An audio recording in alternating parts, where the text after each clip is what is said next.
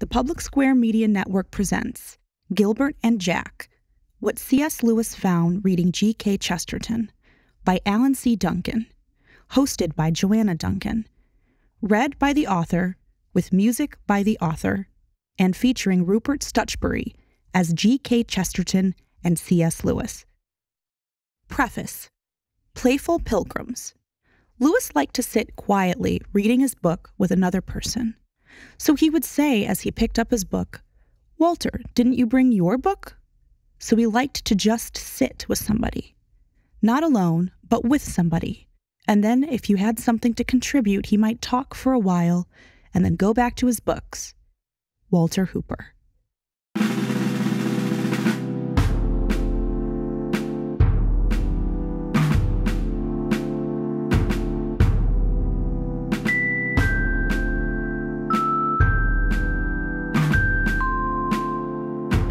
My father introduced me to the work of Clive Staples Lewis by the light of a lamppost as he read the Chronicles of Narnia to me when I was a child. From there, I thumbed the pages of Mere Christianity in college, read The Abolition of Man as a young professional, and worked through The Problem of Pain as a new parent. C.S. Lewis, known as Jack to family and friends, was a soldier, a scholar, and a writer. He was injured in the Great War and later broadcast spiritual sanity to his countrymen on the BBC during the Second World War. Lewis lectured at Oxford and Cambridge, wrote poetry, apologetics, science fiction, and children's literature. He even graced the cover of Time magazine in 1947. C.S. Lewis is widely considered the most influential Christian apologist of his time, and his impact is still felt today. The blockbuster films adapted from the Chronicles of Narnia book series have grossed over $1.5 billion worldwide. His books have been translated into over 40 languages, and his Narnian stories alone have sold over 100 million copies. But Lewis didn't write in a vacuum. He too drank deeply from the well of previously written words. The Wade Center at Wheaton College houses a significant portion of C.S. Lewis's personal library, they have his copies of Coleridge and Chaucer, Dumas, Doyle, and Dickens, Kipling, Kingsley, Milton, Homer, and certainly Shakespeare. Lewis was an astoundingly well read man, and even a portion of his library reveals someone who loved, treasured, and simply owned an abundance of books. For our purposes, it's important to know that the beloved British writer Gilbert Keith Chesterton wrote over 20 of the books contained in the C.S. Lewis Library at the Wade Center. Eleven of those have Lewis's handwritten annotations in them. These penciled notes take the form of grammatical corrections, underlines, sparse notes in the margins, and self made indexes in the empty back pages. Over the years and throughout his collected letters, Lewis references and often recommends Chesterton, particularly The Everlasting Man, calling it the best popular defense of the full Christian position I know. In his autobiography, Lewis wrote of first reading Chesterton while he, Lewis, was still an atheist. He said he couldn't quite understand why he made such an immediate conquest of me, before finally concluding appropriately, I liked him for his goodness. Leave it to Lewis to summarize succinctly and sweetly the feelings of so many. G.K. Chesterton occupies an ecumenical elevation that is perhaps only surpassed by Lewis himself. While Lewis is the Anglican author that attained a pope's praise, Chesterton is a Catholic writer that even Protestant pastors applaud.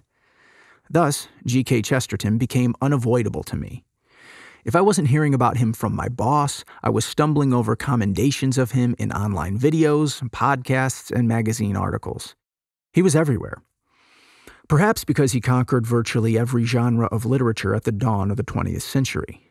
Chesterton was an entertaining journalist who also created classic detective fiction, poetry, novels, and apologetic works. I first dipped my toe in Chesterton's tide by way of his published newspaper debate, the Blatchford Controversies. Next, I picked up Heretics, and by the time I was seven sentences in, my pencil was out and I was marking the book. Two pages later, I knew I would never be the same. And I'm glad I can look back now on my own scribbled notes Ebenezer's to life change, etched in number two graphite. And such is the wonder of real, handwritten marginalia in an age of tablets and audiobooks. We can look at a book that changed us long ago and snap instantly back to the inspired spark that made us halt everything and jot that note. And while our own underlined books are fantastic for self reflection, we engage in a treasure hunt when flipping through the copies of a luminary like Lewis. So it's in that spirit that my father and I made a pilgrimage from our homes in Cleveland, Ohio, to the Wade Center. After all, my dad had introduced me to Lewis, so it was only right that we share the experience of looking through his annotated library together. But how did we come to find out that such riches existed at all? From a podcast. In the episode titled C.S. Lewis versus Chesterton Debate of Uncommon Sense with Nancy Brown, Dr. Dale Ahlquist, president of the Society of Gilbert Keith Chesterton, and apologist Peter S. Williams engaged in a friendly contest. The entire program is fun and worth a listen. But I'm particularly grateful for the part where Dale Ahlquist informed listeners that Lewis's copies of Chesterton books were out there, somewhere, with notes in their margins. At that point, all it took was some web searching to discover that much of Lewis's library is indeed stored at the lovely Marion E. Wade Center in Wheaton, Illinois. I was very happy about this because I'd worried that anything owned by Lewis would be in England. When we did finally see the Wade Center, it looked like it was part of a new Oxford, slowly sprouting one building at a time from the Illinois soil. Once through its doors, we found ourselves in the Kilby Reading Room, whose walls are lined with books. We wondered why white gloves were not mandated after we learned of the protocol for our study at the Wade Center. No pens, only pencils. No photographs. Books must be kept at or above tabletop level. Only one book at a time can be released to you. Security cameras are fully functional. Big Brother is watching. And when placing the books on the table, put them on the fluffy little pillow that is provided. So we sat up straight, awed to be handling treasured tomes from C.S. Lewis's personal library. But the strict rules and the regulations did what the law does it called us from the dark side. After we had sat nicely in silent study for some time, I whispered to my dad, I found a marking that isn't in their database. Do you think I should tell them? Sure, said my dad. I think they'd want to know that they missed something. So I made my way to the desk and then came back sheepishly to my seat. She said, Thank you, but it is in our database. You must have missed it when you recorded the notations before you came. You have to get up pretty early to find something that the librarians and researchers didn't spot already. I guess so. A few hours later, my dad noticed another possible omission. Should I point it out? he asked. No, don't embarrass yourself, I replied. He shared it anyway. It turns out it was something they had missed. My father punctuated his feeling and their admission with a fist pump. I guess he got up early enough after all. The tentative relationship we first had with the librarians seemed to develop into something more. After all, we were at the center from opening to closing time. Over and over, all day long, books were passed back and forth. Perhaps our obvious pleasure in the books and the fact that we treated them as the treasures that they are gave our librarians reason to trust us, maybe even like us. They began to relax and smile at the muted rowdiness from the father son combo. The bridges we built with them were a welcome friendship in more ways than one. Because as it turned out, it wasn't going to be the last time we'd need those long suffering librarians. Once back in Ohio, we selected several of our favorite spots in Lewis's Chesterton books that caused him to stop and underline a sentence right in the margin or create an index in the back flaps of his carefully preserved copies. We then sought to find parallel thoughts in Lewis's own writing and allowed our minds to dance around the themes. We soon saw this book project of our own taking shape, and the writing began. I would write and then email chapters to my dad. He'd send them back with notes and suggestions. At some point during the whole process, I have a vague memory of my wife, Joanna, asking with all the lucidity of common sense how we knew for sure that the annotations we had studied were actually from C.S. Lewis, from his own hand. My wife has a tendency to do this, to bring up the very thing you'd rather not hear, but need to. It's one of the reasons I've often told her that I need to read 10 good books just to get to where she was all along. I've lost count of the number of times I've brought an epiphany to her from my time reading Chesterton or Lewis, only to watch her kindly struggle to hide an expression that can only be summed up by the phrase, Of course. Naturally, I tried to push her question as far into the back of my mind as I could. But in fact, I had privately been wondering the same thing myself. But these notes were cataloged and preserved by the Wade Center. Wasn't that enough proof of their authenticity? It was going to have to be. I kept writing. I was eight chapters into the first draft of this book when I discovered a man by the name of Charlie Starr among the members of the C.S. Lewis and the Inkling Society group on a certain social media platform. Dr. Starr is a deeply respected Lewis researcher. He has written the books Light, C.S. Lewis's first and final short story, and The Faun's Bookshelf, C.S. Lewis on Why Myth Matters. Dr. Starr has also published an essay titled Villainous Handwriting, a chronological study of C.S. Lewis's script, that appeared in volume 33 of 7, the Journal of the Marion E. Wade Center. It turns out Charlie Starr is basically the Lewis handwriting expert. He has studied decades of Lewis's letters and discovered distinct writing styles. Among these are traditional cursive, the Great War G, classic Lewis style, and more. For those interested, I highly recommend reading Starr's important work in this field. Not only can Starr accurately determine if a piece of writing is from Lewis's hand, but also, given a quality sample, can approximate the date that the text was written. Once we found Charlie Starr, we now had no excuse. We had to confirm if the annotations were genuine Lewis. No matter what the result, we had to know the truth. Dr. Starr graciously agreed to review our findings. But there was a problem. Because we were not legally allowed to take photographs of the notes while we were at the Wade Center, we couldn't send Dr. Starr any images, any samples. So, we reached out to our librarian friends again and hoped they remembered us fondly. The staff was indeed kind but they informed us that before they could send any photocopies to Dr. Starr for examination, we'd have to get permission directly from the Lewis Company. We sent our request and waited. And waited. And waited. During this time, and perhaps to pass the anxious days, I reached out to Walter Hooper, C.S. Lewis's literary executor, and the man responsible for saving many works from being discarded after Lewis's passing. I hoped Mr. Hooper could shed some light on our predicament, so I asked him by email Do you have any insights you'd be willing to share about Lewis's habits of marking his books in general, or any copies in particular?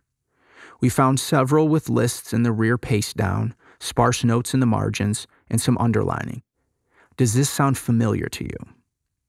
To my delight, Mr. Hooper responded almost at once. But to my dismay, he didn't exactly quell my questions about the authenticity of the annotations. He wrote Dear Mr. Duncan, thank you for your email. As to Lewis's annotations in the Chesterton book you and your father have looked at, I suppose you compared the annotations to some of the thousands of letters from Lewis in the Wade Center. I will mention that, I think in 1965, Lewis's library, then at Wroxton College near Oxford, I was invited to see the library in its new setting. I was taken to meet a young American student who was copying Lewis's annotations from a book. The young lady was preparing a paper on Lewis's annotations. She had no experience of Lewis's handwriting. I'm afraid I broke her heart by pointing out that the annotations in that particular book were not by Lewis. In the Oxford of that time, there were no end of second-hand bookshops. And if a Don needed a particular book, long out of print, he would search for it in one of the second-hand shops. Dons and others were always selling the books they had no more use for and buying other second-hand books. The girl at Wroxton, like most Americans, assumed that you bought your books new and kept them all your life. It was an easy mistake to make. My point being that, in some cases, the annotations in Lewis's books might not be written by Lewis. At the same time, I've never known anyone who wrote so many annotations in his books as did C.S. Lewis. I've always found a passage about his hobby written to Arthur Greeves in February 1932 enjoyable. It is found in Collected Letters, Volume 2, page 53, letter to Arthur Greeves of February 1932. He wrote To enjoy a book like that thoroughly, I find I have to treat it as a sort of hobby and set about it seriously. I begin by making a map on one of the end leaves. Then I put in a genealogical tree or two. Then I put a running headline at the top of each page. Finally, at the end, I index all the passages I have for any reason underlined. I often wonder, considering how people enjoy themselves developing photos or making scrapbooks, why so few people make a hobby of their reading in this way. Many an otherwise dull book which I had read have I enjoyed in this way, with a fine nib pen in my hand. One is making something all the time, and a book so read acquires the charm of a toy without losing that of a book.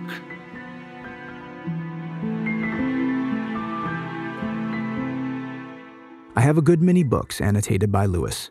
Sometimes, in a rare work, he might supply his own index of unusual terms, or index of words he wanted to remember, and sometimes with running headlines on most pages. All good wishes from Walter Hooper. It was an exceedingly warm response, but as I said, it didn't exactly fill me with confidence. I talked this over with my dad.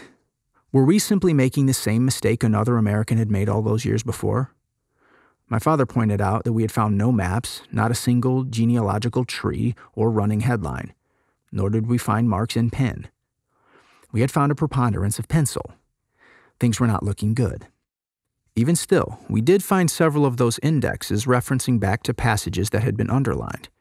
And hadn't Mr. Hooper left us hope, too? After all, he told us he never known anyone who wrote so many annotations in his books. At last, the Lewis Company granted permission for the Wade Center to scan and send the selected notes off to Charlie Starr. This was the moment of truth. Would our hopes be dashed like the poor American girl? Would our work be in vain? After a few anxious days, we had our answer. Regarding the handwritten note in the rear paste down of Heretics, Dr. Starr assured us yes, it's Lewis. How about the index in the rear flyleaf of Fancies versus Fads? Yes, it's Lewis. And the full handwritten index in the rear flyleaf verso of Orthodoxy? It's definitely Lewis. We were grateful for all the generous help, and we were back in business. Now, in this preface, it must also be admitted that this volume is not intended to be a literary critical contribution. Certainly, research has gone into crafting this book, but we aren't claiming to proffer any new theory or to settle any specific points of contention. Thus, this book is more personal, more devotional than it is academic. Even still, it is our prayer that this book will find its way into the hands of individuals, small groups, and yes, even the classrooms of people who'd like to reflect more deeply on the impact G.K. Chesterton had on C.S. Lewis. That said, I also acknowledge that it's nearly impossible to trace someone's personal beliefs or philosophy to a single source. Chesterton himself wrote in Orthodoxy that one was often convinced of a philosophy from four books, one battle, one landscape, and one old friend. So our little volume doesn't presume to say that a man of Lewis's intellect, spirit, and breadth of reading acquired these specific thoughts we will focus on from G.K. Chesterton alone. And of course, anyone familiar with the work of the two men can already find similarities in their writings. But these personal handwritten annotations do give us a unique glimpse into the passages that actually prompted Lewis to stop and think while reading Chesterton. We cannot tell you exactly why Lewis made these notes. Maybe they were jotted because he already agreed with them, and they echoed something he had read in Scripture, the philosophers, or a fairy tale. Or perhaps they did indeed introduce a new thought to his mind. We can't say for certain. It's also worth mentioning here that our study of Lewis's notes in Orthodoxy will comprise the entire second half of this volume. The quantity and quality of Lewis's notes in that book yielded much compelling material. The book is also a favorite of Chesterton enthusiasts and one of the most recommended of all his books. With all that being said, this entire pursuit could be considered mere intellectual indulgence if we didn't approach it with regard to the actual content. Were the writings we meditated on true, reasonable, and biblical? Could they bring us closer to God? Could God use these concepts to change our thoughts and our actions for good? So, as my father and I think back to our time turning the pages of Lewis's library under the friendly yet watchful eye of the Wade Center staff, I can't help but think of the Walter Hooper quote that began this preface. about his friend's love of reading with another person. While my father and I quietly uncovered the quotes Lewis had underlined and nudged each other at certain key findings, I felt we were following in that tradition. It seemed that we had stepped through a wardrobe and found ourselves in the kilns. And since we are surrounded by such a great cloud of witnesses, maybe I can be excused for feeling like we were somehow reading with Gilbert and Jack. It was as if Lewis had just finished making a note and was ready for the conversation to begin.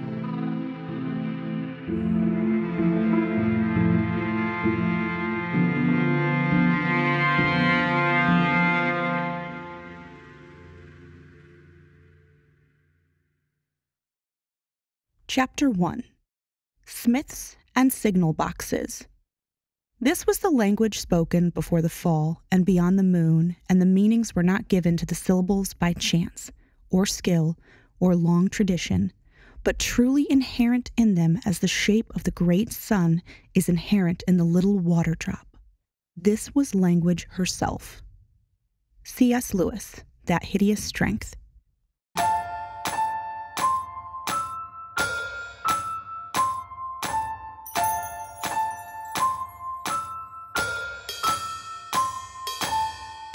In his introduction to his book, The Four Loves, C.S. Lewis gives us a quick look at his linguistic theory. He writes Language is not an infallible guide, but it contains, with all its defects, a good deal of stored insight and experience. If you begin by flouting it, it has a way of avenging itself later on. We had better not follow Humpty Dumpty in making words mean whatever we please. A misuse of language was something G.K. Chesterton warned against as well. Therefore, a particular handwritten annotation in Lewis's copy of Heretics shouldn't surprise us. Before looking at that note, however, it should be mentioned that Heretics is the 1905 classic in which Chesterton took on the fads and famous figures of his time. In his characteristically genial way, he jousted with the ideas of writers like George Moore, George Bernard Shaw, and H.G. Wells. It's a book that all these years later still retains its freshness because it seems that we always find a way to reframe our fashions. In light pencil on the rear paste down page of his small hardback copy, Jack wrote the words Smith and signal boxes. It's preceded by a numeral 32, reminding Lewis that this section begins on that page in the chapter called On Mr. Rudyard Kipling and Making the World Small. The paragraphs Lewis was referring to are among the most visually stunning in the book, and are in fact marked in my copy as well. In the first part of that text, and in his quest to show us that everything is poetical, G.K. Chesterton reminds us, as only he can, of the epic history of the common surname Smith. In the case of Smith, the name is so poetical that it must be an arduous and heroic matter for the man to live up to it. The name of Smith is the name of the one trade that even kings respected. It could claim half the glory of that arma virumque, which all epics acclaimed. The spirit of the smithy is so close to the spirit of song that it has mixed in a million poems, and every blacksmith is a harmonious blacksmith.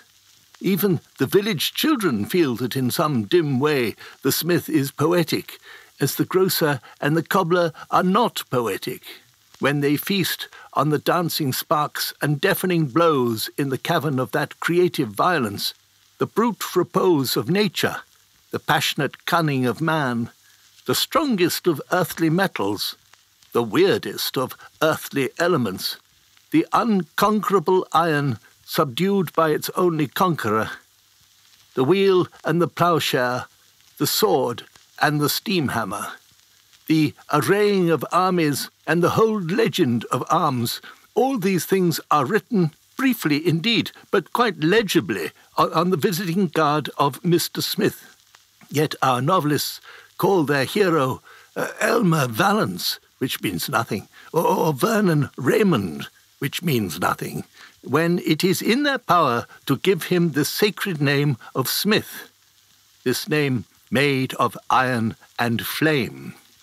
It would be very natural if a certain hauteur, a certain carriage of the head, a certain curl of the lip, distinguished everyone whose name is Smith. Perhaps it does. I, I trust so. Whoever else are parvenus, the Smiths are not parvenus. From the darkest dawn of history, this clan has gone forth to battle. Its trophies are on every hand. Its name is everywhere. It is older than the nations. Its sign is the hammer of Thor.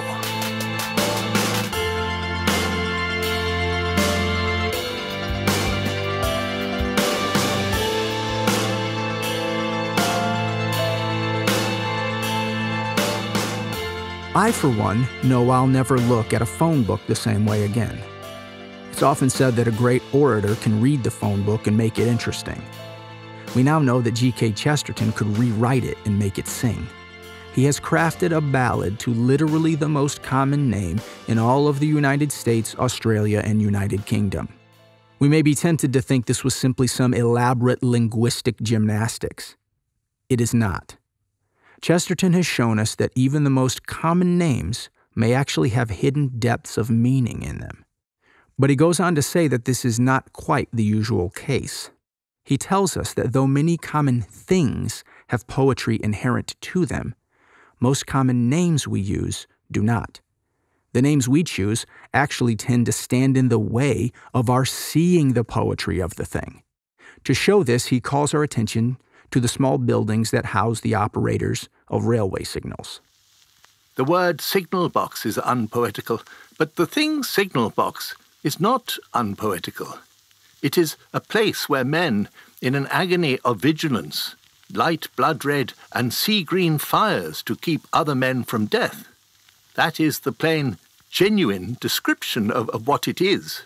The prose only comes in with what it is called all these things were given to you poetical. It is only by a long and elaborate process of literary effort that you have made them prosaic. For his part, Lewis also writes like he's waging a personal war against such slippage. So it's not hard to picture Lewis pausing after reading those passages, flipping to the back, and jotting his note. After all, Lewis is the author who brought us a marsh wiggle named Puddleglum, the demons Screwtape and Wormwood, the planet Perelandra, and the wonderful world of Narnia itself.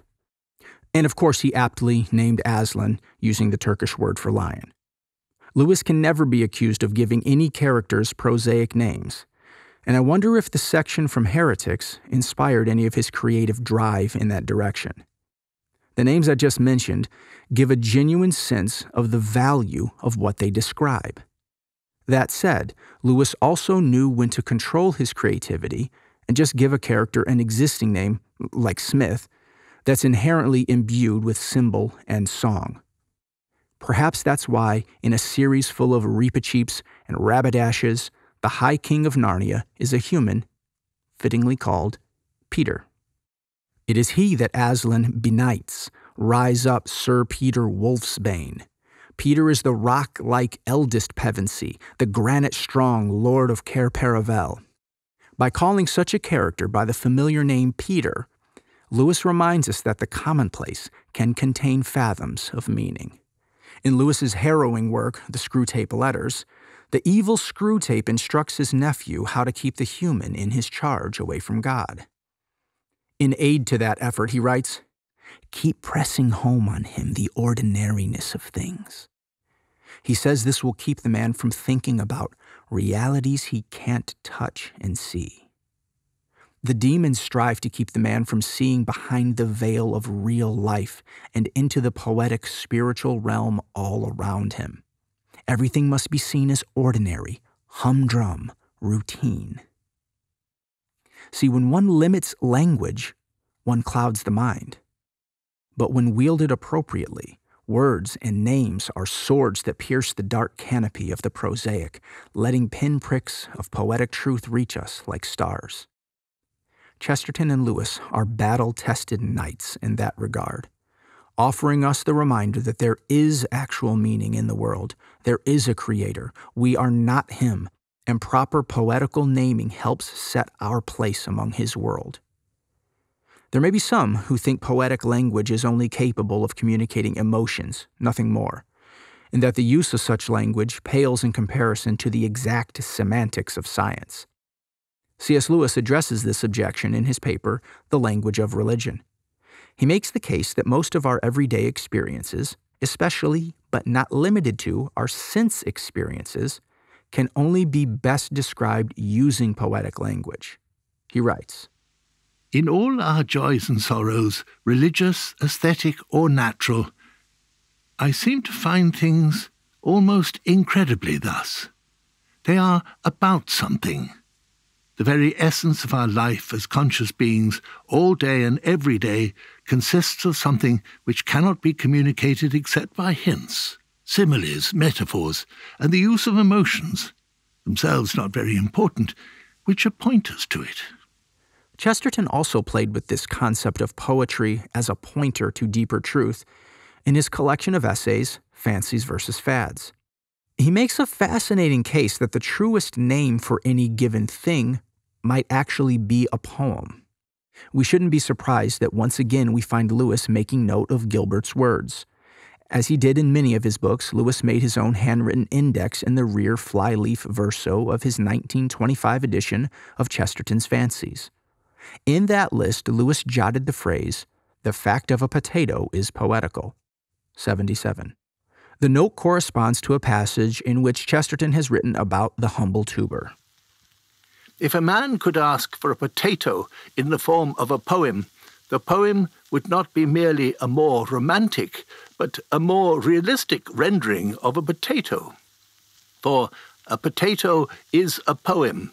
It is even an ascending scale of poems, beginning at the root in subterranean grotesques in the Gothic manner, with humps like deformities of a goblin and eyes like a beast of revelation, and rising up through the green shades of the earth to a crown that has the shape of stars and the hue of heaven. But the truth behind all this is expressed in that very ancient mystical notion, the music of the spheres. It is the idea that at the back of everything, existence begins with a harmony and not a chaos. If we really believe that God's invisible attributes, eternal power, and divine nature are observed through creation, then why would we tolerate a world with dull, unpoetic names? After all, the Hebrew Scriptures, and therefore all Christian Bibles, start with poetic language declaring this foundational truth. In the beginning, God created the heavens and the earth. It's also no small fact that the first man was tasked with naming all the wild animals and all the birds of the sky. We were always meant to name. God assigned Adam with a symbolic, practical, and poetic act that placed his image bearers in benevolent dominion over creation. Just imagine the poetry present in the pre fall garden. Envision Adam in the infancy of Earth thinking with the freshness of a child savant on his first trip to Whipsnade Zoo. Perhaps the first bull's name was a ballad, and the first lamb's was a limerick, and maybe, just maybe, the first songbird's name was a sonnet. In that Genesis garden, all things were new and good, and man's first creative acts flowed directly from a God given commission. But such ecstasy was not to last. The fall occurred. And as Chesterton rightly discerned, this has affected that first command to name things properly. Ever since, we have felt the pull toward the prosaic. This has tarnished how we see the world and our God who made it. It may seem extravagant to insist that our misuse of words highlights our fallen state. But since God uses his works to speak about himself, our amnesia toward inherent meaning can shrink our view of him. It's one glaring flare that shows humanity's sinful separation from our Maker. Apart from Christ, this is our plight. But Lewis draws from the depths of gospel truth to remind us of the Redeemer. In The Lion, the Witch, and the Wardrobe, there is an exchange between the rightfully indignant Mr. Beaver and Aslan that gives narrative weight and ultimate hope to Chesterton's thoughts from heretics. Sire, There is a messenger from the enemy who craves audience. Let him approach, said Aslan. The leopard went away and soon returned, leading the witch's dwarf.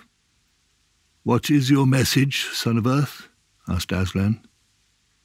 The Queen of Narnia and Empress of the Lone Islands desires a safe conduct to come and speak with you, on a matter which is as much to your advantage as to hers.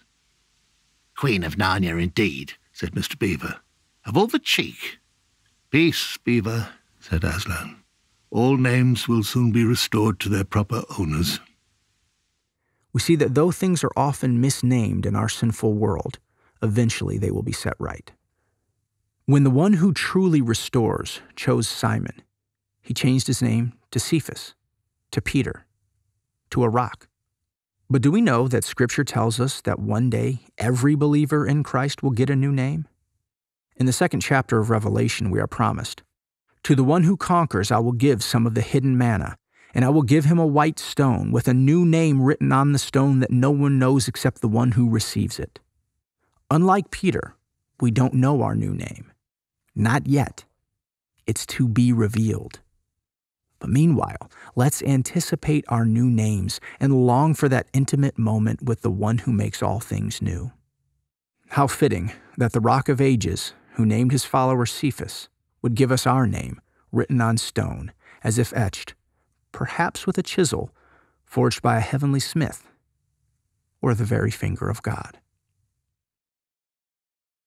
Chapter 2 his own name.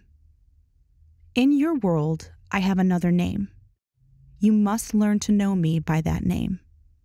Aslan, The Voyage of the Dawn Treader.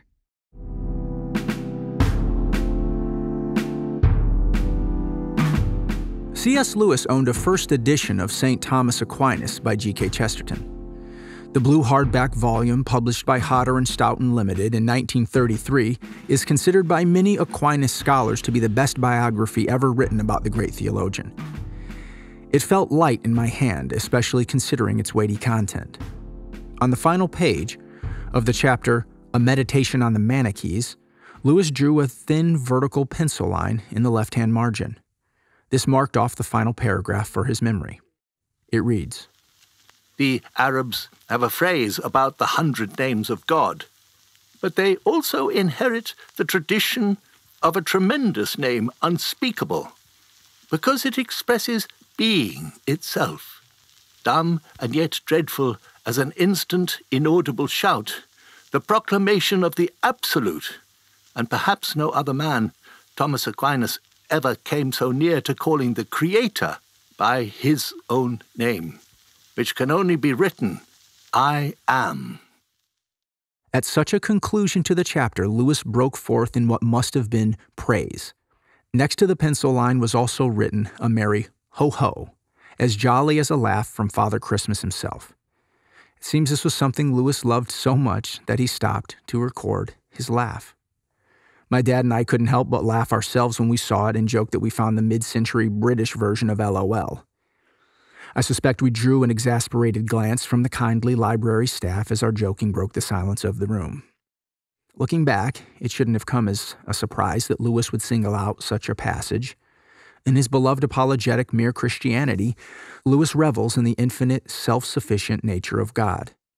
In the chapter Time and Beyond Time, Lewis writes of God His life is not dribbled out moment by moment like ours, for his life is himself in his spiritual autobiography, Surprised by Joy, Lewis also wrote God is to be obeyed because of what he is in himself.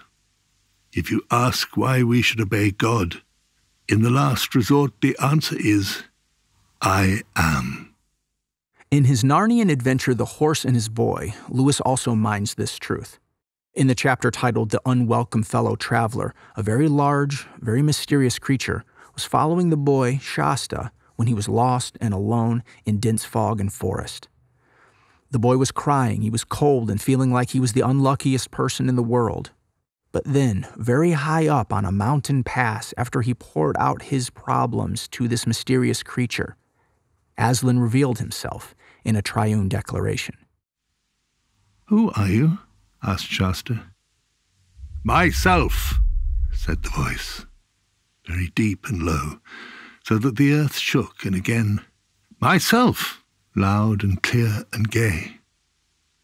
And then the third time, Myself, whispered so softly you could hardly hear it, and yet it seemed to come from all around you as if the leaves rustled with it. Like Moses in the glow of the burning bush, all the boy could do was hide his face as Aslan made his acquaintance. Shasta knew he was on holy ground. and such passages, we're reminded that God's self existence is often sufficient introduction. On some level, it must be enough for us to know that He knows Himself. We must begin by taking Him at His word. It's difficult, if not impossible, for us to fully grasp God's I am name because finite creatures can't comprehend eternal self sustained existence. In fact, the angel of the Lord says in the book of Judges, Why do you ask my name? It is beyond understanding. And in another version, Why askest thou thus after my name? Seeing it is secret. Of course, we know that ultimately, at the name of Jesus, every knee will bow.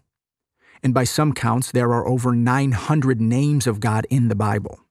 Thankfully, those names have not been kept secret. In fact, this is precisely why Jesus came to reveal the nature, the character, the attributes, and the image of God. Any attempt here to detail a comprehensive list of the names and titles of Jesus found in Scripture will no doubt be incomplete and inadequate. Still, the effort reminds us of the glory, majesty, and uniqueness of this one we call Christ. He is the Prince of Peace, the bread of life, the Good Shepherd, the Lamb of God, the Redeemer, the door, the way, the truth, and the life. Meditating on these names and titles of Jesus expands our capacity for wonder and worship. So, God is certainly not averse to more literal or knowable names.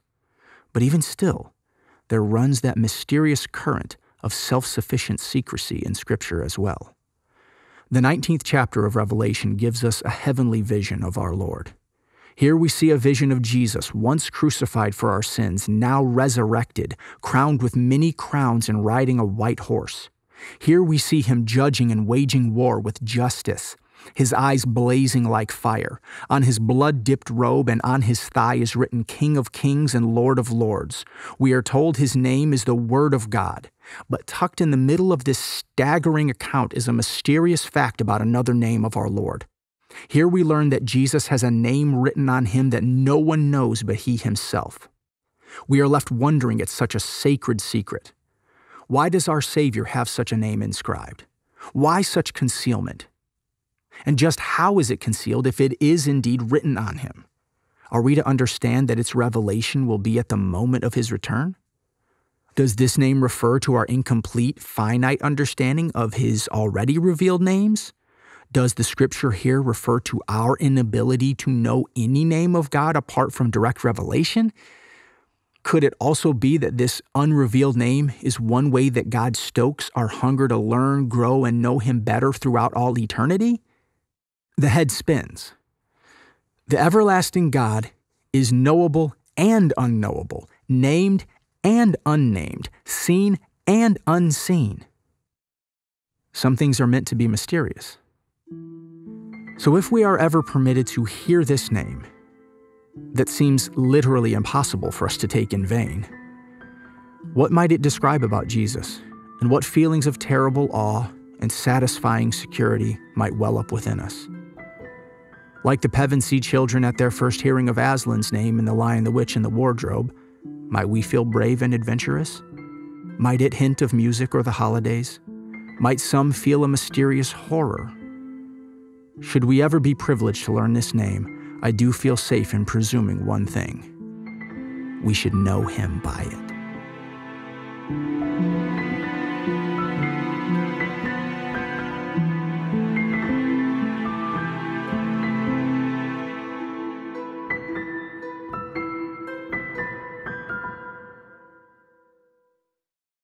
Chapter 3 Goblins and Goodness.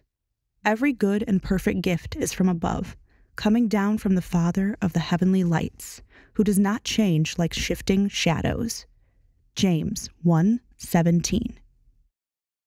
In addition to a significant portion of C.S. Lewis's personal library, the Marion E. Wade Center of Wheaton College is devoted to the pages and paraphernalia of six other British authors Owen Barfield, Dorothy L. Sayers, J.R.R. Tolkien, Charles Williams, G.K. Chesterton, of course, and George MacDonald.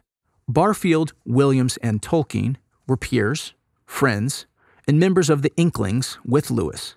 Sayers was also a contemporary and is known to have communicated with Williams and Lewis. So there was mutual respect, admiration, and iron sharpening among those five. But Chesterton and MacDonald inhabit a place of chronological primacy among these seven names, while occupying a special place in C.S. Lewis's journey to faith as well. In fact, Lewis would eventually write I was brought back by the strong influence of two writers George MacDonald and G.K. Chesterton.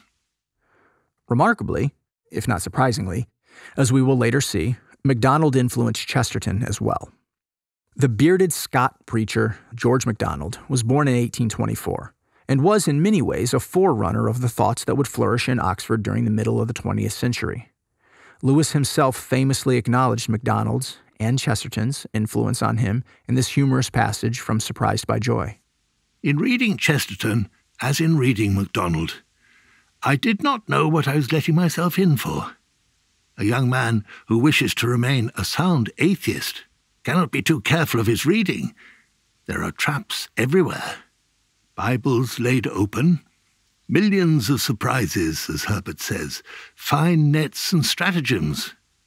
God is, if I may say it, quite unscrupulous. One such stratagem grasped Lewis as a teen when his eyes happened to fall upon George MacDonald's novel, Phantastes, on a railway platform bookstall. Lewis would buy the book and later claim that his imagination was baptized in the pages of the magical woodland world inside. Thus began a lifelong apprenticeship. In his tender and lengthy preface to his collection, George MacDonald, an anthology, Lewis wrote, I have never concealed the fact that I regarded MacDonald as my master. Indeed, I fancy I have never written a book in which I did not quote from him. Knowing this, it was special to find a first hand account of Lewis reading Chesterton's appraisal of his early spiritual hero.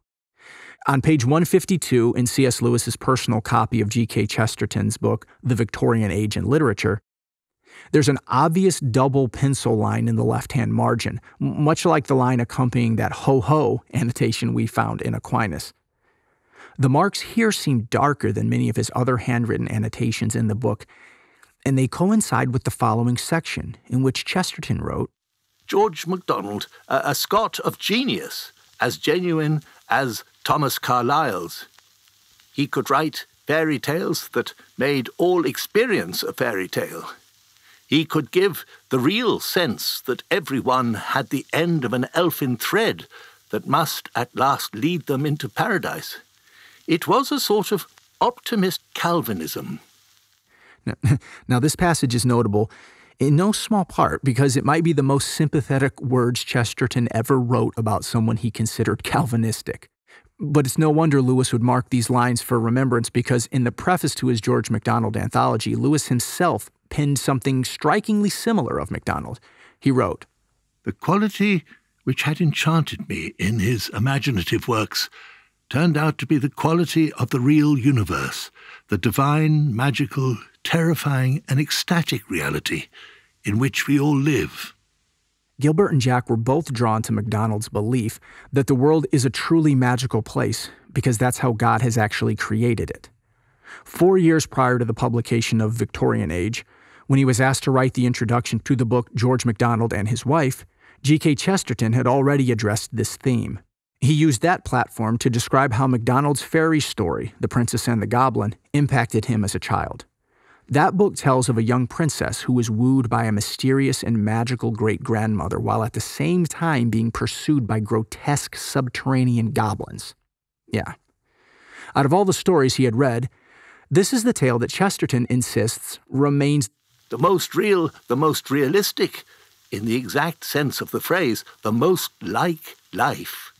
I felt the whole thing was happening inside a real human house, not essentially unlike the house I was living in. To Chesterton, the work of other writers hardly suggests how near both the best and the worst things are to us from the first, even perhaps especially in the first. He would go on to say that MacDonald reinforced this philosophy by making all the ordinary staircases and doors and windows into magical things. No doubt Chesterton was recalling passages like this from his childhood reading of The Princess and the Goblin.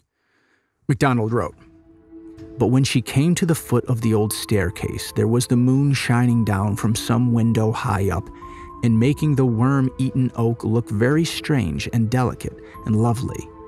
In a moment, she was putting her little feet one after the other in the silvery path up the stair, looking behind as she went to see the shadow they made in the middle of the silver. Some little girls would have been afraid to find themselves thus alone in the middle of the night, but Irene was a princess. As she went slowly up the stair, not quite sure that she was not dreaming, suddenly a great longing woke up in her heart to try once more whether she could not find the old lady with the silvery hair. Despite all the beauty and wonder in MacDonald's work, and for all the influence he had on Chesterton and Lewis, he remains a controversial figure in Christianity. In recent years, there have even been prominent pastors to publicly question his salvation. For many, his beliefs about the atonement, quote, Jesus, our propitiation, our atonement, he is the head and leader, the Prince of Atonement. He could not do it without us, but he leads us to the Father's knee. He makes us make atonement. End quote. And his universalism, quote, he will hold his children in the consuming fire of his distance until they pay the uttermost farthing and rush home to the Father and the Son, end quote. Quotes like this have put him, if it may be said, near the shadowlands of orthodoxy. This is to be expected and even understandable. But for those who would easily dismiss him, surely there is something worth hewing from the works of a man who could write such words as these quote, God is simply and altogether our friend, our Father, our more than friend, Father and Mother, our infinite love, perfect God. And, I dare not say with Paul that I am the slave of Christ, but my highest aspiration and desire is to be the slave of Christ. End quote. MacDonald's body of work is so replete with such passages, it's hard to fathom anyone reading him and not feeling conviction of sin and a deeper love for God our Father. But the all consuming Father love that held MacDonald's gaze may, if possible, have also blinded him to some of the harder sayings of the Son. And this is where Lewis himself could follow his, quote, master no further, once saying of MacDonald's universalism, I parted company from MacDonald on that point because a higher authority, the Dominical utterances themselves, seemed to me irreconcilable with universalism. After all, it was Jesus himself who said of his Father who sees the sparrows and numbers the hairs on our head, Do not be afraid of those who kill the body but cannot kill the soul. Rather, be afraid of the one who can destroy both soul and body in hell. Terrifying. I mentioned previously that Lewis wrote of G.K. Chesterton. Strange as it may seem, I liked him for his goodness.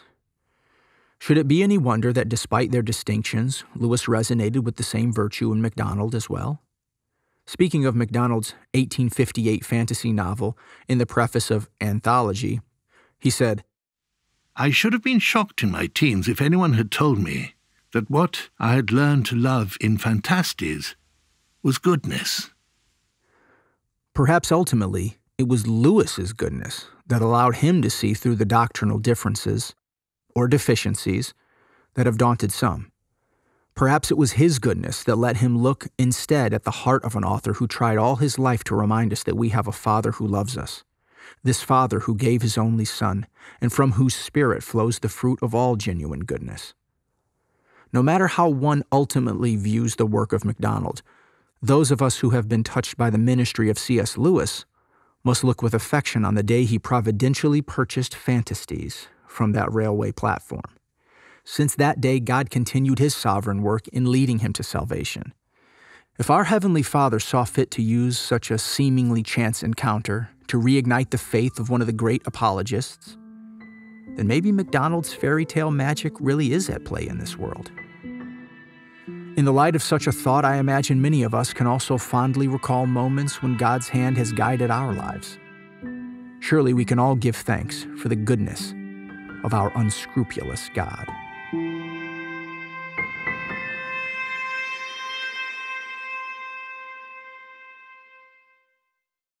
Chapter 4 Easy to Please. Come to me, all you who are weary and burdened, and I will give you rest. Take my yoke upon you and learn from me, for I am gentle and humble in heart, and you will find rest for your souls, for my yoke is easy and my burden is light. Jesus. Matthew chapter 11 verses 28 through 30. Some sayings float in the atmosphere. We know them, or some version of them, we vaguely recall hearing them and can't remember a time that we didn't know them. The phrase, God is easy to please but hard to satisfy, was like that for me. My notion that Lewis himself had written the phrase probably sprang from a forgetful reading of this passage in Mere Christianity. This helper, who will in the long run be satisfied with nothing less than absolute perfection, will also be delighted with the first feeble, stumbling effort you make tomorrow to do the simplest duty. As a great Christian writer, George MacDonald, pointed out, every father is pleased at the baby's first attempt to walk. No father would be satisfied with anything less than a firm, free, manly walk in a grown up son. In the same way, he said, God is easy to please but hard to satisfy. Had I remembered correctly, I would have known that Lewis credited MacDonald. I should also admit that even months after my visit to the Wade Center, I couldn't find the original source of the quote that Lewis was referencing. At that point, I had only been able to find MacDonald's famous adage quoted by others. But when I began working through a collection of MacDonald's sermons, I finally found it in a sermon entitled The Father's Appeal, preached in Westminster Chapel. He said this You have not much to offer, I know. Who of us has? But remember this that though Jesus Christ is hard to satisfy, he is very easy to please. Think of that, and it will help you a little. He is very easy to please, but very hard to satisfy. The thought is so profound and pure, it's no wonder the words have been passed down through the years. If we truly believe this is how God sees us, we will be better equipped to view ourselves and others the same way. As a parent, I long to emulate this image of God. In my better moments, I seek to celebrate even the smallest glimpses of progress in my children, but still I never stop encouraging their growth into the adults I know they can be. This concept also brings to mind the best type of coaches and the finest music teachers. Such mentors cheer our mastering of the most basic concepts, but won't rest until they see us hoisting a trophy or hosting a concert. For G.K. Chesterton, as we'll see, this concept even applied to art criticism. In the previous chapter, we touched on Chesterton's fondness for MacDonald, and here again we'll get to see Lewis's reaction to finding Gilbert quoting the Scot. In his handwritten index in the back of Fancies versus Fads, Lewis wrote, Easy to please, 16, noting that Chesterton referenced George MacDonald's famous quote on page 16 of his copy. Once we flipped back to that page, we saw a double line in the margin marking off this passage from Chesterton. A good critic should be like God in the great saying of a Scottish mystic. George MacDonald said that God was easy to please and hard to satisfy. That paradox is the poise of all good artistic appreciation. Without the first part of the paradox, uh, appreciation perishes because it loses the power to appreciate. Chesterton goes on to clarify in his next sentence that Good criticism, I repeat, combines the subtle pleasure in a thing being done well with the simple pleasure in it being done at all. As with his poetry and his mystery stories, even Chesterton's comments on art criticism are naturally infused with his faith. It's one of the reasons that reading him is so rich. His writings are enjoyable on a purely formal level, but the experience deepens when one is open to his many spiritual insights. After all, who else would dare to favorably compare an art critic with God? Chesterton further illustrates his point with three examples.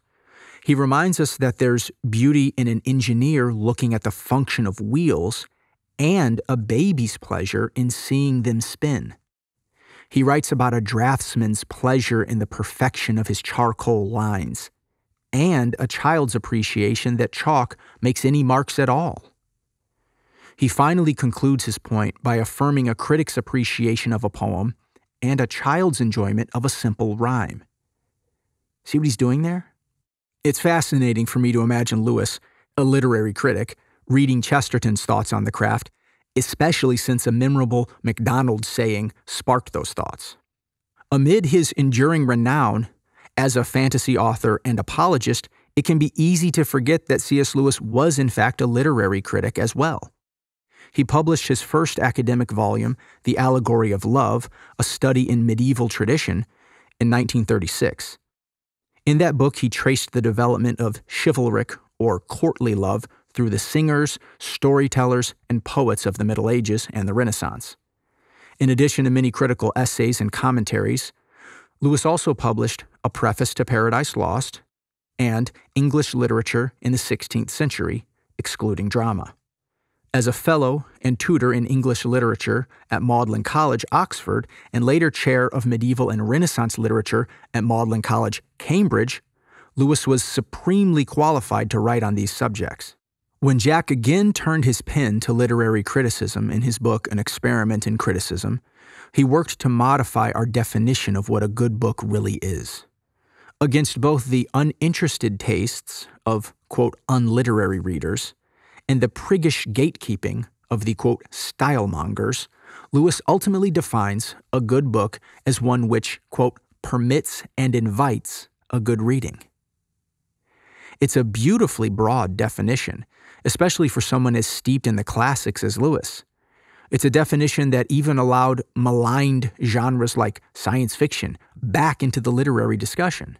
In Experiment, Lewis also engaged with and quoted various works of famed Victorian era critic Matthew Arnold to help him build his own case. But tucked among those Arnold quotes, I found another reference that took me right back to the Wade Center, right back to Lewis's copy of Fancies versus Fads. At the end of a key paragraph was a direct instance of Lewis referencing Chesterton, referencing MacDonald.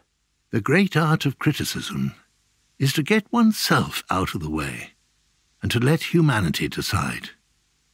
We are to show others the work they claim to admire or despise as it really is, to describe almost to define its character, then leave them to their own, now better informed reactions. In one place, the critic is even warned not to adopt a ruthless perfectionism. He is to keep his idea of the best, of perfection, and at the same time to be willingly accessible to every second best which offers itself. He is, in a word, to have the character which MacDonald attributed to God, and Chesterton following him to the critic, that of being easy to please but hard to satisfy. I was so happy to see this exact reference to our find at the Wade Center in Lewis's published work. When I discovered the connection in an experiment in criticism, I even scared my wife and kids with a howl of delight. Now, according to Charlie Starr's handwriting analysis, Lewis read and annotated Fancies versus Fads sometime between 1934 and 1939. This suggests that over 20 years had passed from the time Lewis first read Fancies to his including the easy to please art critic concept in his own work. An Experiment in Criticism was among the last of his books released while Lewis was alive. It was published in 1961, a mere two years before his death. And in the epilogue, Jack looks back on his life as a reader with more tenderness than one might expect to find in a critic. Those of us who have been true readers all our life, seldom fully realize the enormous extension of our being which we owe to authors. In reading great literature, I become a thousand men and yet remain myself. Like the night sky in the Greek poem, I see through a myriad eyes, but it is still I who see. Here, as in worship, in love, in moral action, and in knowing, I transcend myself and am never more myself than when I do. In comparing the transcendent experience of reading with worship, Lewis has closed the loop. He has brought us back to the God who is pleased with our feeble, honest efforts to praise. So, like Lewis, let us be free little children of the Father who celebrate our smallest steps of progress. Let us read on, worship, and love let us please God by our love for Him and neighbor. Let us do justice, love mercy, and walk humbly with our God. Let us practice pure religion by caring for widows and orphans and keeping ourselves unstained by the world. With all this, God will show Himself as easy to please. And may we also believe in God's crucified and risen Son, receive His grace, and in so doing, mystically and miraculously see God do what is hard satisfy Himself.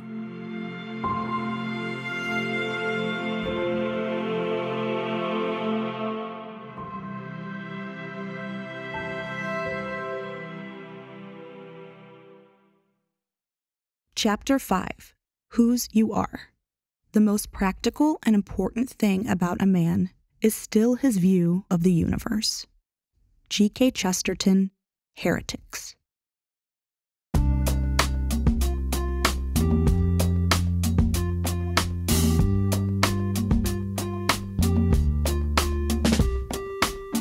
When I was growing up, my dad developed a practice of saying a certain phrase to me every time he dropped me off for school. We'd pull up near the building in a hand me down car gifted to us by one of his kind hearted congregants, rusty and reeking of exhaust. I'd often sit slumped in the seat, hoping to avoid the eyes of my classmates. But when I'd finally get out of the car, and just before I'd shut the big squealing door, he'd say, Remember who you are and whose you are. It was his way of reminding me that I had a family who loved me and that there were certain standards expected of me. He also meant to remind me that ultimately, I belonged to God. Every morning I left sobered and secure, knowing I wasn't alone. I was a Duncan, with all the benefits and responsibilities that came with that fact. And I was also part of a family that could inspire automotive charity. The summer after my senior year of high school, my dad and I visited the Republic of Ghana, West Africa. We were part of a team of Americans dispatched from the church my dad was pastoring who had come to work with local ministers in the hopes of planting new churches in the area. We were also there to help with general evangelism, speaking and preaching in some of the remote regions of the country. One large part of our gospel presentation included screening the Jesus film, a Christian missions classic that has introduced millions of people around the world to Jesus since 1979. In fact, the movie has been translated into 1,600 languages and often gives viewers the chance to hear the story of Jesus in their own language for the first time. It was always exciting to see the screen go up in each village. With permission from the local chiefs, we would set up in a nearby field as curious kids laughed and played around us. Generators would hum, the projector would flicker to life, and as dusk turned to darkness, whole villages would gather at this cinema under the stars. All had worked smoothly until we came to the coastal city of Axim. If ever there was a night that things could go very badly, this seemed like the one. First of all, I was scheduled to speak after the film. I was just out of high school, not a lot of speaking experience. My nerves were palpable and paralyzing. Secondly, as we uncoiled our electrical cords and watched the sky, we couldn't help but notice that it looked like rain. Much like my dad on those early school mornings, God whispers through the natural world Remember who you are and whose you are. Paul writes in the first chapter of Romans that God's invisible qualities, his eternal power, his divine nature, have been clearly seen being understood from what has been made, so that people are without excuse. The natural world points to our Creator, but we don't need to look far to see that we manage to actively suppress the truth with our unrighteousness. We're tempted to worship created things over the Creator, and often view the beauty of nature as a divine end in and of itself. And if not an end, certainly the most direct path to experiencing God or some vague sort of spirituality. C.S. Lewis warned us of the dangers of such thoughts. In the chapter titled Likings and Loves for the Subhuman, in his work The Four Loves, he writes The created glory may be expected to give us hints of the uncreated, for the one is derived from the other, and in some fashion reflects it. In some fashion, but not perhaps in so direct and simple a fashion as we at first might suppose, we have seen an image of glory. We must not try to find a direct path through it and beyond it to an increasing knowledge of God. The path peters out almost at once. We can't get through, not that way. We must make a detour, leave the hills and woods, and go back to our studies to church, to our Bibles, to our knees. Otherwise, the love of nature is beginning to turn into a nature religion. And then, even if it does not lead us to the dark gods, it will lead us to a great deal of nonsense. So, what nonsense is Lewis referring to, and where might our culture be bowing to dark gods today? Well, we see it when a Princeton professor like Peter Singer brazenly claims a newborn baby is of less value than a sentient pig, dog, or chimp. We see it when philosophers at Johns Hopkins University suggest having fewer children in an effort to ward off climate change. We see it when materialists seek to explain the existence of the universe with nothing but time, matter, and chance. Now, admittedly, no full Christian ethic disregards the proper respect and stewardship of the gift we call earth. Sadly, in some circles of Christianity, even this charge seems forgotten or is eyed with suspicion. But we also have to remember that to truly love something, we can't expect more of it than it was ever intended to give. On the coast of Axim grows a beautiful softwood tree. Its wide trunk and large branches stand tall between a football field and the sea. Since my time in Ghana, I've read that libation is poured out to a deity which is said to dwell in the tree.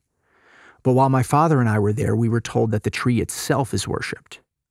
Silhouetted against the looming rain clouds, the tree certainly struck an imposing figure. It was magnificent and melancholy. The tree also represented a tangible reason we had come here was a chance to offer Christ to a pre Christian people, who, much like my own ancestors on the British Isles, found their religious impulse awakened by the natural world. This made me want more than ever to show our new friends the Jesus film, and it heightened my desire to deliver a coherent talk. But those clouds were thick, low, and gray black against the purple sky, and we knew that the bottom could drop at any moment.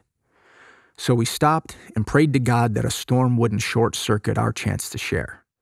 Then we finished setting up and started the film. We can't know for sure if Jack's reading of Gilbert directly stimulated his thoughts on nature while he wrote The Four Loves. But a Lewis diary entry shows that Chesterton had influenced him on the subject as far back as 1924. In that entry, dated Wednesday, March 5th, Lewis wrote, looked into Chesterton's Life of St. Francis, the chapter about naturalism, and what it led to amongst pagans, which I thought pretty true, though whether Christianity made any immediate difference on the masses is not so clear.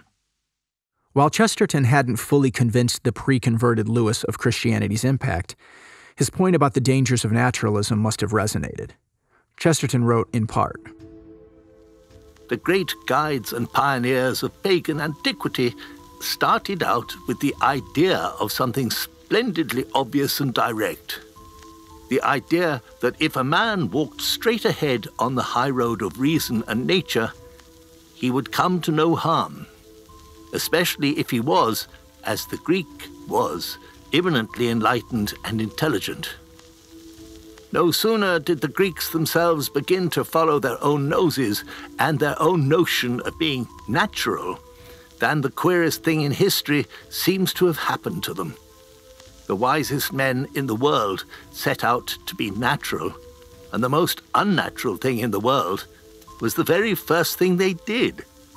The immediate effect of saluting the sun and the sunny sanity of nature was a perversion spreading like a pestilence.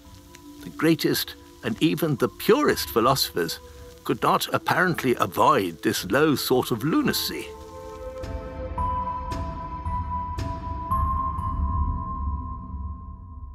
Under the winged shadow of Eros, their deity of sensual desire, the ancient Greeks became saturated with graphic erotic art, prostitution, and even socially accepted pederasty, where boys as young as 12 entered into sexual relationships with much older men.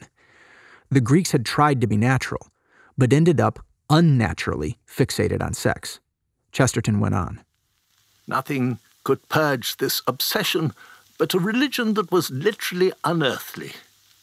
It was no good telling such people to have a natural religion full of stars and flowers. There was not a flower, or even a star, that had not been stained. It was no good to preach natural religion to people to whom nature had grown as unnatural as any religion. They knew, much better than we do, what was the matter with them, and what sort of demons at once tempted and tormented them. And they wrote across that great space of history the text, This sort goeth not out but by prayer and fasting. Such passages were not the last time Chesterton taught Lewis on this topic.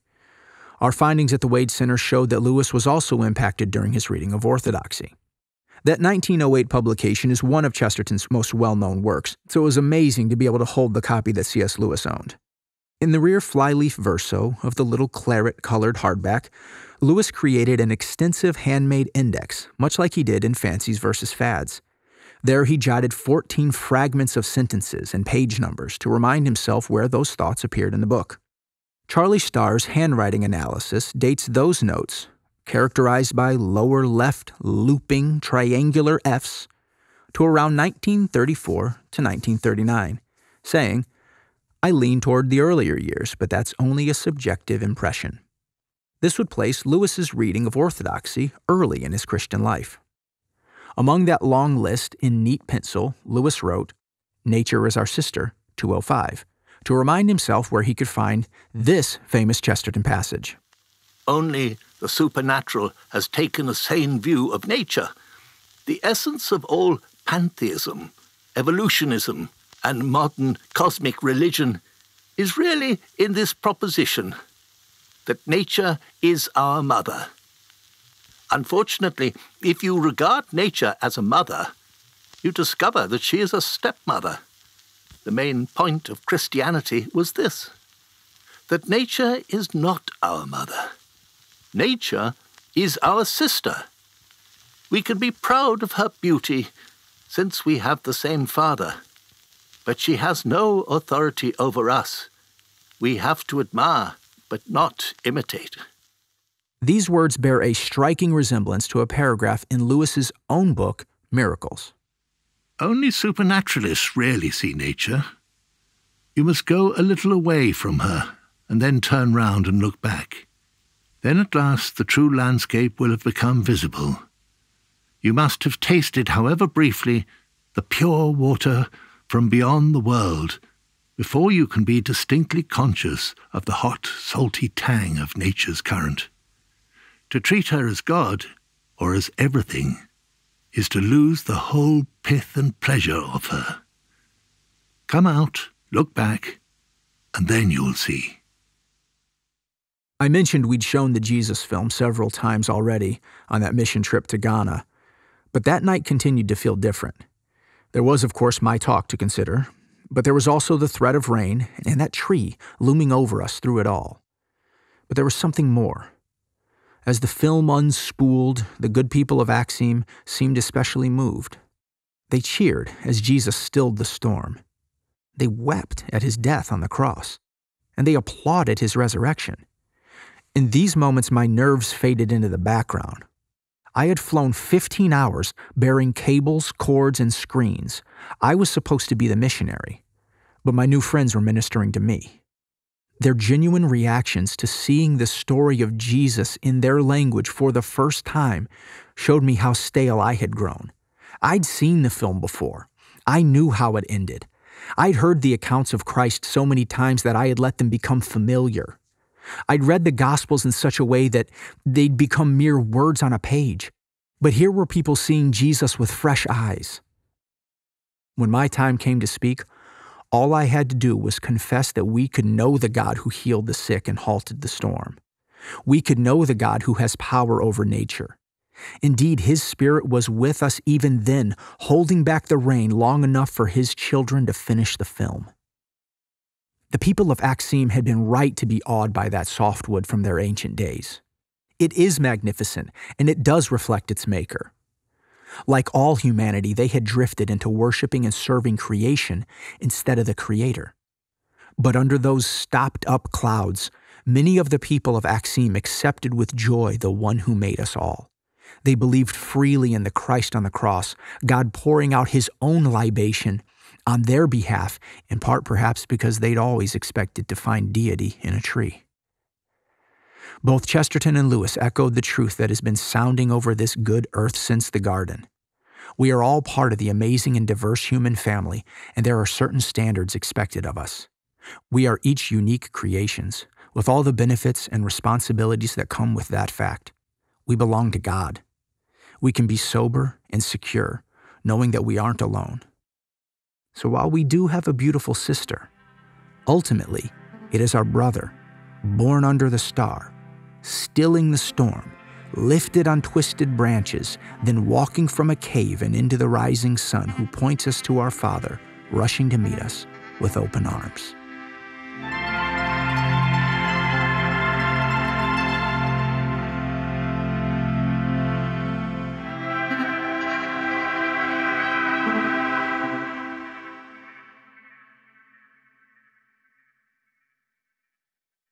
Chapter 6 Appetite of Infancy. Truly, I say to you, unless you turn and become like children, you will never enter the kingdom of heaven. Jesus. Matthew chapter 18, verse 3. When the author of the Chronicles of Narnia writes an essay titled On Three Ways of Writing for Children, you read it multiple times. You circle words. You underline sentences. In the piece, C.S. Lewis defends fairy tales as kindlers of spiritual longing. He praises Tolkien's work on the subject and reminds us to respect children because we have it on, quote, high authority that in the moral sphere they are probably at least as wise as we. It's got all the wit, wisdom, and humility that are hallmarks of Lewis's work. The essay actually began its life as a talk to the Library Association in 1952, before finding its way to publication in a collection of Lewis's work titled Of Other Worlds Essays and Stories. I would have loved to hear him deliver his remarks in person that day, but I'm certainly grateful to at least have them preserved in writing. In one of the most memorable parts of the speech, Lewis cautions us against an obsession with attaining adulthood. Critics who treat adult as a term of approval instead of as a merely descriptive term cannot be adult themselves. To be concerned about being grown up, to admire the grown up because it is grown up, to blush at the suspicion of being childish, these things are the marks of childhood and adolescence. And in childhood and adolescence, they are, in moderation, healthy symptoms. Young things ought to want to grow. But to carry on into middle life or even into early manhood this concern about being adult is a mark of really arrested development. When I was ten, I read fairy tales in secret and would have been ashamed if I had been found doing so. Now that I'm fifty, I read them openly. When I become a man, I put away childish things, including the fear of childishness and the desire to be very grown up I now enjoy Tolstoy and Jane Austen and Trollope, as well as fairy tales, and I call that growth. Here, Lewis has presented us with a very Chestertonian paradox. The tension might be summed up like this To truly grow, one must keep what is childlike, and to remain childlike, one must mature beyond fear. Jesus himself tells us, Whoever humbles himself like this little child is the greatest in the kingdom of heaven. And let the little children come to me, and do not hinder them, for the kingdom of heaven belongs to such as these. Our acceptance of this teaching is vital to our spiritual health.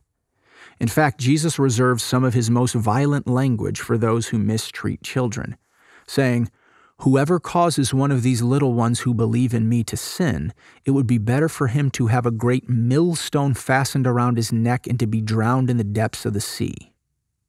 That's Jesus talking. It can be safely said that Lewis practiced what Christ taught about respect for children and childlike humility. In addition to penning enduring works for young readers, he was also known to correspond with them by post, by mail, and he quietly donated large sums of his earnings to aid widows and orphans. This is the C.S. Lewis that loyal readers recognize, but it seems that it took a war and a certain little girl to help the British bachelor move in that direction. During the Second World War, Lewis opened his South Oxford home to children evacuating London as the Blitz, Germany's bombing attack, ravaged the city. If such a scene sounds familiar to readers of Narnia, it's because one of those evacuees, a young girl named June Flewett, seems to have provided the basis for Lucy Pevensie. June, now Jill Freud after she married Sir Clement Freud, the grandson of Sigmund Freud, was told as much by Lewis's stepson, Douglas Gresham, in a letter stating, I suppose you know that you are the prototype for Lucy. Well, Jill, or June, lived on and off at the kilns for years with Lewis and his adoptive mother, Janie Moore. She helped out with their 20 hens, supped with Jack and his brother, and even took tea with Tolkien. Lewis then paid for her to go to the Royal Academy of Dramatic Arts. She graduated and went on to have a West End career under the name Jill Raymond. Over the years, Lewis and Jill developed such a relationship that Lewis wrote in a 1944 letter that Jill was the most selfless person he had ever known. On recalling her first encounter with the man, Jill said, Oh, I loved him. Loved him, of course I did. I was in the kitchen helping Mrs. Moore with the hen food when I first met him. I turned around and knew this was something momentous. Jack would go on to say, I never appreciated children till the war brought them to me. But if Jill was on Lewis's mind as he created Narnia, so too was his goddaughter, the child of his friend Owen Barfield. It is to this Lucy that Lewis wrote a beautiful letter that would become the dedication at the beginning of The Lion, the Witch, and the Wardrobe. My dear Lucy, I wrote this story for you, but when I began it, I had not realized that girls grow quicker than books. As a result, you are already too old for fairy tales and by the time it is printed and bound, you'll be older still. But someday, you will be old enough to start reading fairy tales again. You can then take it down from some upper shelf, dust it, and tell me what you think of it. Your affectionate godfather, C.S. Lewis. His words seem to have been prophetic. Lucy Barfield did grow up and in the midst of a promising career teaching music and dance, she was diagnosed with multiple sclerosis. She continued battling for years, teaching between her bouts in the hospital, before finally entering one for good after the death of her husband. She would remain hospitalized for the last 13 years of her life. During the final five of those years, when she could no longer speak or feed herself, Lucy would love for her brother Geoffrey to take the Chronicles of Narnia down from some upper shelf and read it to her over and over and over again.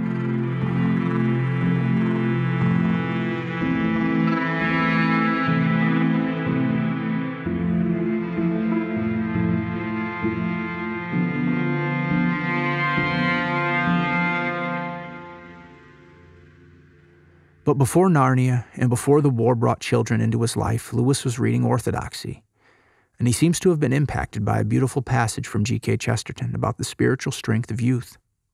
Here, Lewis saw a picture of God from the mind of a man who was also known to correspond with children, and even throw a good puppet show from time to time. It's one of my favorite parts of Orthodoxy, so I was glad to learn that Lewis included it in the rather lengthy index at the back of his own copy. In that list, he wrote down the page number on which the quote appeared 107 and the powerful final six words of the paragraph that we turn to now. Because children have abounding vitality, because they are in spirit fierce and free, therefore they want things repeated and unchanged. They always say, Do it again. And the grown up person does it again until he's nearly dead. For grown up people are not strong enough to exult in monotony. But perhaps God is strong enough to exult in monotony. It is possible that God says every morning, Do it again to the sun, and every evening, Do it again to the moon. It may not be automatic necessity that makes all daisies alike. It may be that God makes every daisy separately but has never got tired of making them. It may be that He has the eternal appetite of infancy, for we have sinned and grown old, and our Father is younger than we.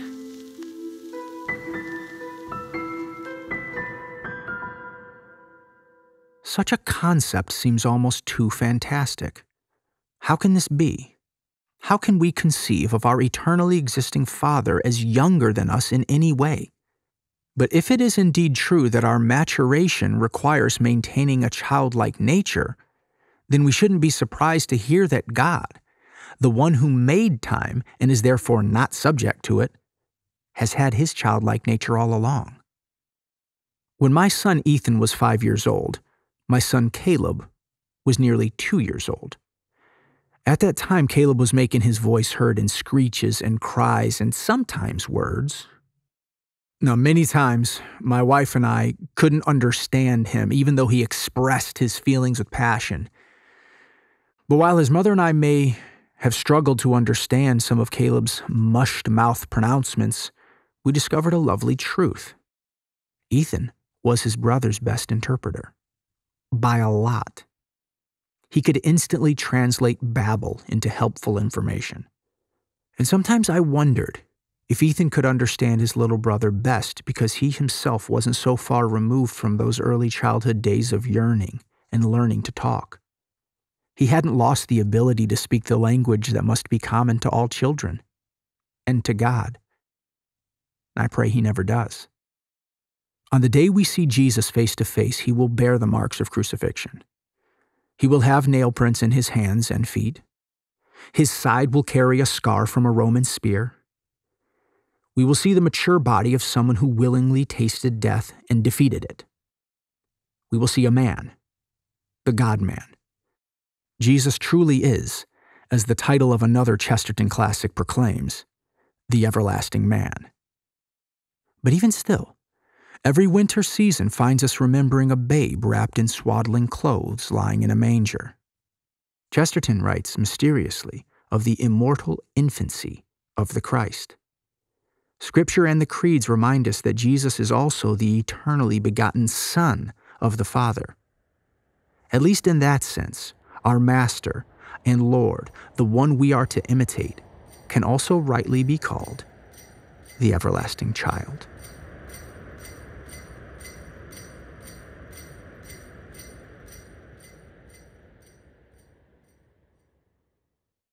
Chapter 7 Patriots? Patriotism has, then, many faces. C.S. Lewis, The Four Loves. Patriotism is fundamentally a conviction that a particular country is the best in the world because you were born in it. George Bernard Shaw published this caustic thought in The World on November 15, 1893. Shaw would later double down on that belief by placing the line, You'll never have a quiet world till you knock the patriotism out of the human race, on the lips of a character from one of his one act plays. Shaw is also credited with the quote Patriotism is a pernicious, psychopathic form of idiocy. Such sentiments, among others, kept Shaw at continual, though good natured odds with G.K. Chesterton throughout their literary lives. As leading writers and thinkers of their time, Shaw and Chesterton shared a friendship and the debate stage. One famous interchange between them began when Chesterton quipped to his slender enemy, I see there has been a famine in the land. To which Shaw shot back at his portly opponent, and I see the cause of it. Weight jokes aside, the two men really did have drastically different worldviews. They disagreed on such wide ranging topics as private property, paradoxes, and polygamy. Chesterton was, of course, a Christian, and later specifically Catholic. Shaw was a self described mystic who rejected all formal religion. George Bernard Shaw never stopped writing, speaking, or working toward what he thought would make for a better society. But G.K. Chesterton always felt that there was something faulty in his friend's philosophy. Chesterton thought Shaw's longing for a superior humanity often caused a contempt that kept him from seeing real people with the proper amount of wonder. And so, as early as 1905, Chesterton dedicated a chapter in Heretics to his friendly foe. He wrote Mr. Shaw has never seen things as they really are. If he had, he would have fallen on his knees before them. He has always had a secret ideal that has withered all the things of this world. He has all the time been silently comparing humanity with something that was not human, with a monster from Mars, with a wise man of the Stoics, with the economic man of the Fabians, with Julius Caesar, with Siegfried, with the Superman. Mr. Shaw asks not for a new kind of philosophy, but for a new kind of man. Mr. Shaw cannot understand that the thing which is valuable and lovable in our eyes is man.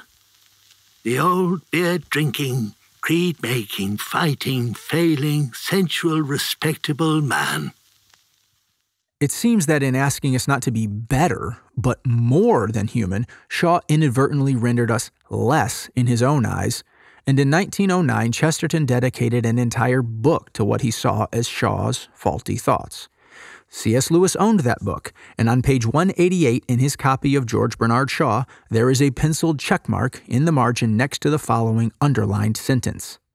The same is true of Mr. Shaw's refusal to understand the love of the land either in the form of patriotism or in private ownership. The sentence comes in the context of Chesterton's overall analysis that Shaw is wrong about nearly all the things one learns early in life, and while one is still simple. It should be mentioned that Shaw disagreed with Chesterton's characterization of him in the book that bore his name. But Shaw was indeed a socialist, and his published Position on Patriotism preceded him, so Chesterton's critique on this point at least seems accurate. Now, it must be admitted here that a single checkmark and an underline is not as feasible to authenticate as actual lettering. But that being said, it is significant that the book is part of the C.S. Lewis Library at the Wade Center, and we also found a Lewis diary entry from Thursday, July 1st, 1926, confirming that he was reading the book George Bernard Shaw on that day. For those that might be unconvinced that the underline is from Lewis's own hand, there is another completely separate notation on patriotism in Lewis's collection as well. In the index at the back of Orthodoxy, Lewis jotted, The literary men outside all literature, 174, to remind himself of the portion and page number he wanted to recall. The full passage is in the chapter The Paradoxes of Christianity and it is tucked in a section where Chesterton is critiquing those who want to feel everything freely, so they even break away from the ordinary limits of home. Chesterton writes Mental and emotional liberty are not so simple as they look. Really, they require almost as careful a balance of laws and conditions as do social and political liberty. The ordinary aesthetic anarchist who sets out to feel everything freely gets knotted at last in a paradox that prevents him feeling at all. He breaks away from home limits to follow poetry, but in ceasing to feel home limits, he has ceased to feel the Odyssey. He is free from national prejudices and outside patriotism, but being outside patriotism, he is outside Henry V. Such a literary man is simply outside all literature, he is more of a prisoner than any bigot. For if there is a wall between you and the world, it makes little difference whether you describe yourself as locked in or as locked out.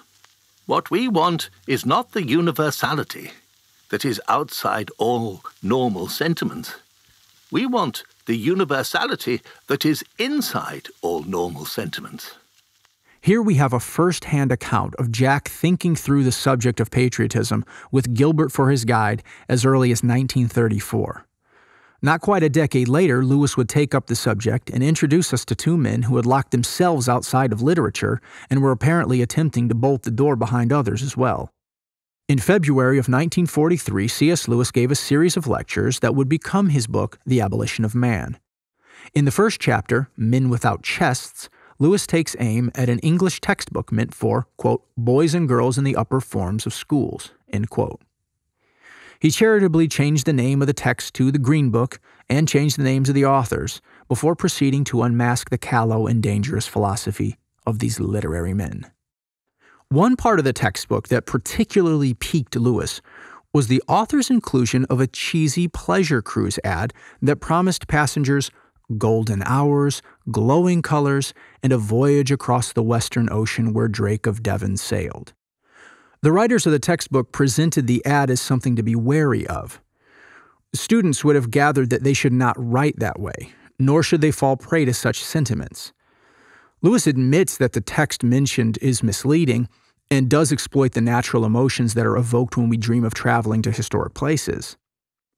The Green Book's authors would have been right to condemn the advertisement based on its poor prose, but instead they pointed out that it was metaphorical and the cruise couldn't really provide the inspiring experience that the ad had promised. Lewis feared that by failing to contrast the obviously florid advertisement against examples of quality writing from authors like Samuel Johnson and William Wordsworth, who also sought to stir patriotic emotions, the writers of the Green Book were subtly teaching young readers this that all emotions aroused by local association are in themselves contrary to reason and contemptible the schoolboy is encouraged to reject the lure of the Western Ocean on the very dangerous ground that in doing he will prove himself a knowing fellow who can't be bubbled out of his cash. Gaius and Titius, while teaching him nothing about letters, have cut out of his soul, long before he's old enough to choose, the possibility of having certain experiences which thinkers of more authority than they have held to be generous, fruitful, and humane. Lewis would again bring his own clear voice to the subject of patriotism in his 1960 book, The Four Loves. In the chapter titled Likings and Loves for the Subhuman, Lewis treats us to a masterful discussion on the love of the land that has Chesterton's fingerprints all over it. He presents a hearty, healthy view of patriotism, complete with all the warranted warnings about love of country not supplanting our love for God. He also encourages readers to remember historic atrocities committed under the guise of what he calls white man's burden, and to recall even the great deeds of a nation's past with sober minds. But even with all those warnings, Lewis landed in a different place than Shaw did on the subject of patriotism. Though he doesn't mention Shaw by name here, Lewis rejected his notion that the definition of patriotism must include the belief that one's country is superior to all others. Like Chesterton, he saw room for a purer form of patriotism. Lewis simply calls this love of home, with all of its familiar sights, sounds, and smells. In one key paragraph, he extols his own British way of life and even includes a paraphrase from Chesterton's The Everlasting Man that is just wrong enough to suggest it was from memory. With this love for the place, there goes a love for the way of life, for beer and tea and open fires, trains with compartments in them, and an unarmed police force, and all the rest of it, for the local dialect, and a shade less for our native language. As Chesterton says, a man's reasons for not wanting his country to be ruled by foreigners are very like his reasons for not wanting his house to be burned down, because he could not even begin to enumerate all the things he would miss.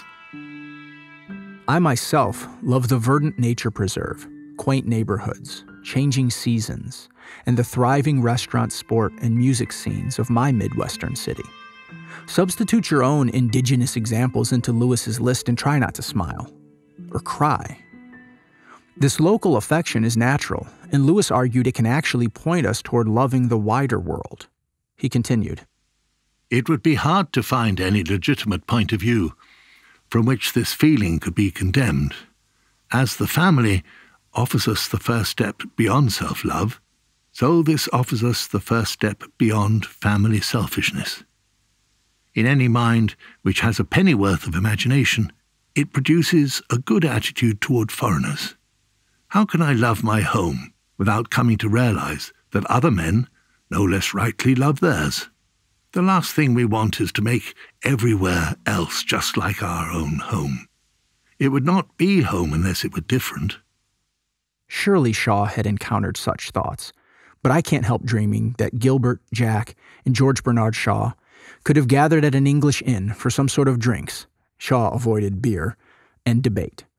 Perhaps the rollicking journalist and the Oxford academic could have prevailed upon the playwright with their powers combined.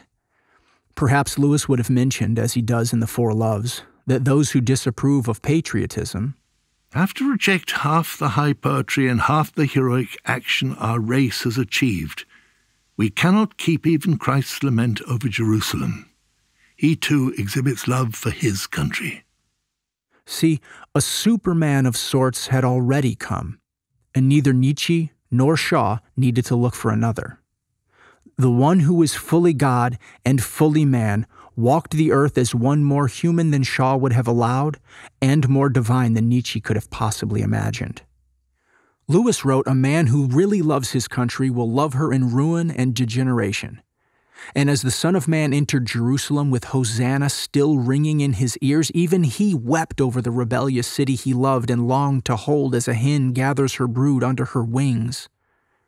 But Luke's gospel also tells us that Christ then entered the temple, filled with righteous rage.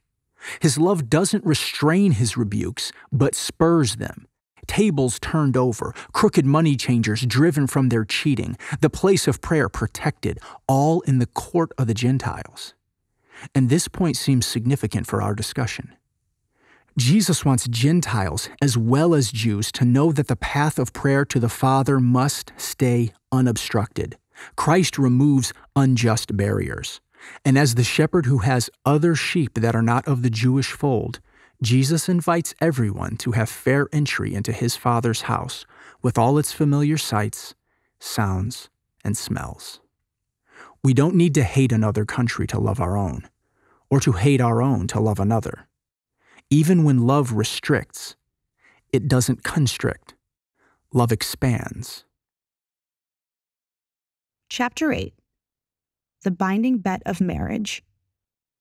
Haven't you read, he replied, that at the beginning the Creator made them, male and female, and said, For this reason a man will leave his father and mother and be united to his wife, and the two will become one flesh.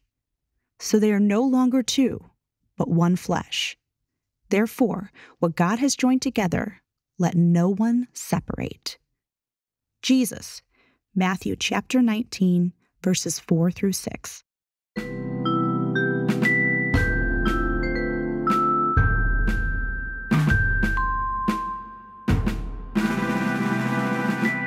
My father defeated me in every single game of one on one pickup basketball we played while I was growing up. Every game. He shamelessly employed his size and height advantage and also wasn't shy about celebrating his victories.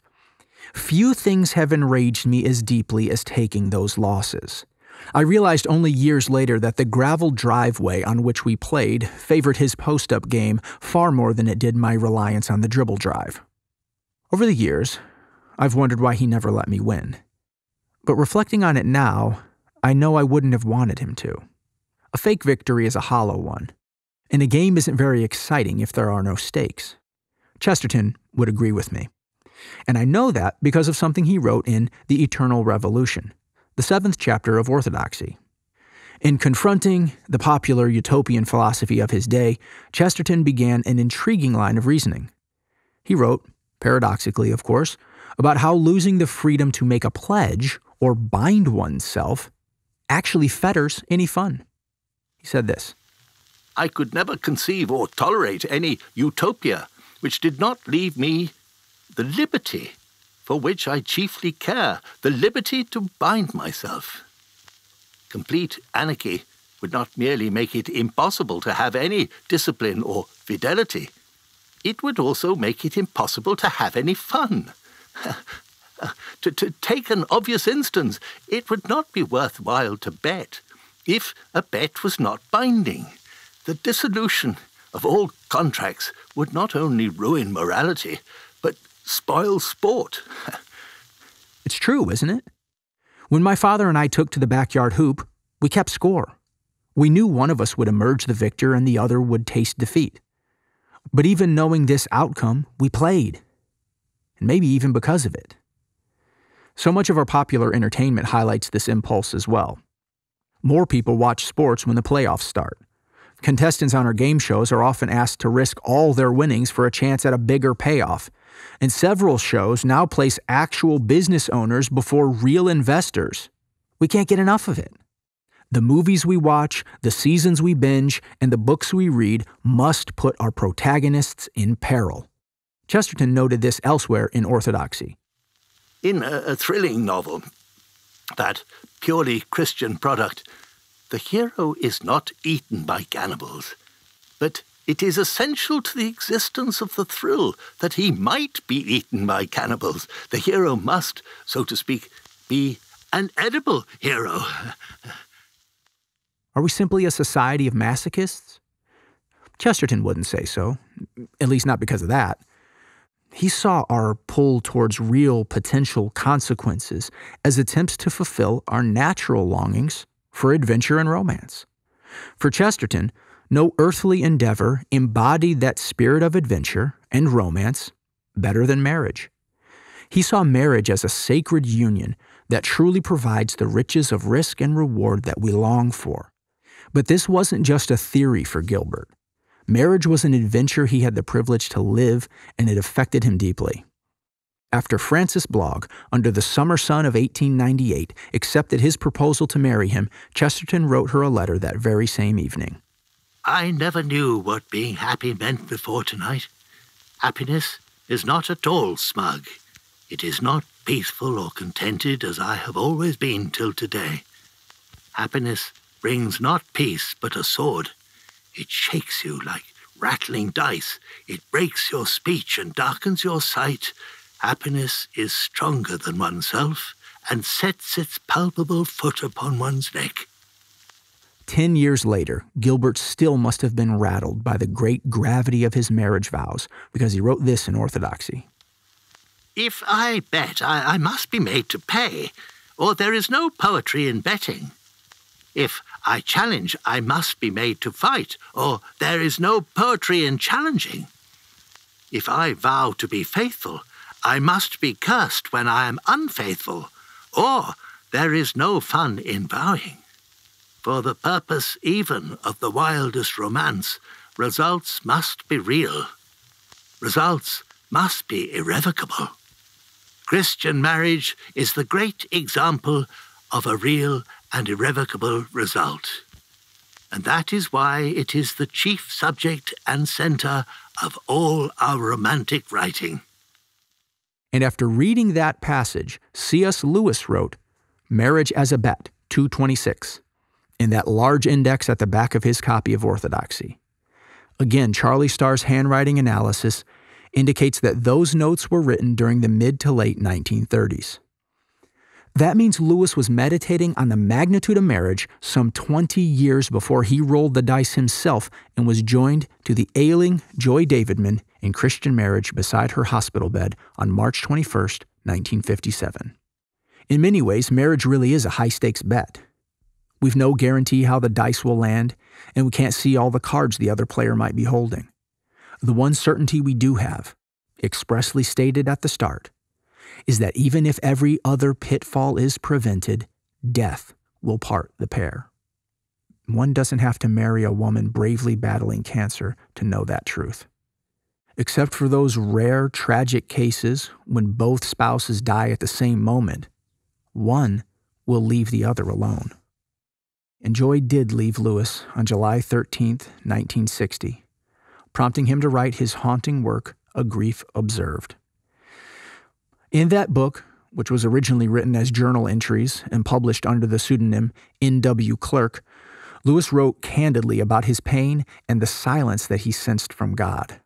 The pages ring with the dissonance of a brilliant mind trying to think clearly with a broken heart.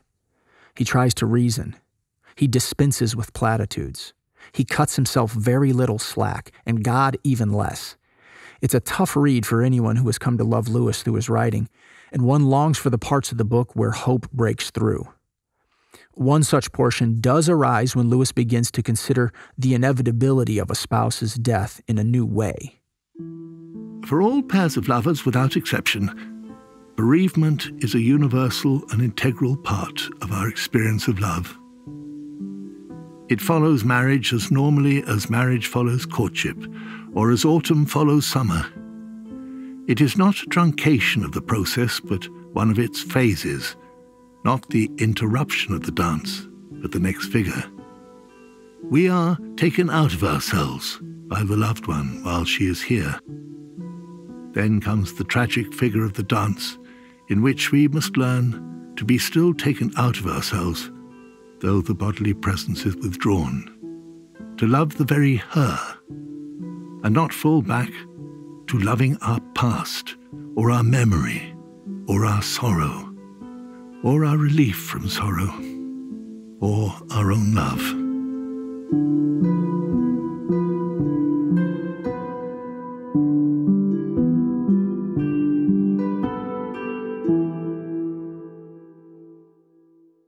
It's a beautiful passage, uh, but it does need a couple of qualifications in the context of our discussion. First, we know that death is a product of the fall and is therefore more sinister than the changing of the seasons. However, God has been known to use death for his good purposes, so Lewis's thoughts about learning to love the very her seem sound.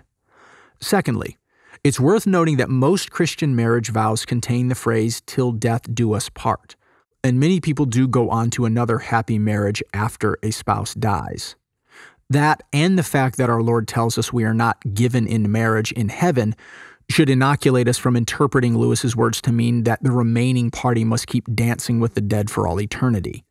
But even with those qualifications taken into consideration, it seems that the sanctity of Lewis's binding marriage vows actually gave him meaning when he desperately needed it by learning to love his bride more deeply in death and trying to waltz with dignity through their final figure, Lewis found a purpose in his pain. By seeing his present state as an unavoidable stage of matrimony in a fallen world, Lewis was allowed space to keep working on his marriage as he grieved. Learning to love Joy didn't have to stop just because she was gone. The terms of the bet may end at death, but that doesn't mean the romance and adventure have to. If, as Chesterton says, Christian marriage is the central theme in our romantic literature, is it any wonder that Scripture is also stippled with curious and beautiful references to Jesus as the bridegroom? In the Gospels, Christ himself uses such language. In his letter to the Ephesians, Paul instructs husbands to love their wives as Christ loves the church. And in Revelation, the apostle of love sees a vision of the new Jerusalem descending from heaven adorned like a bride. God's story is the ultimate adventure, the first and final romance.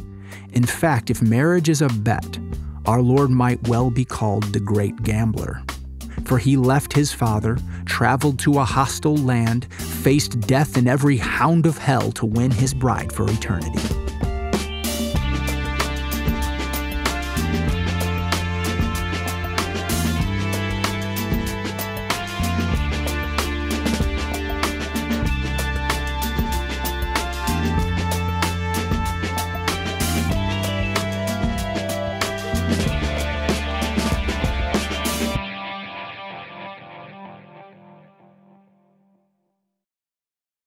Chapter 9 Modern Day Madmen. I take a very low view of climates of opinion. In his own subject, every man knows that all discoveries are made and all errors corrected by those who ignore the climate of opinion. C.S. Lewis, The Problem of Pain.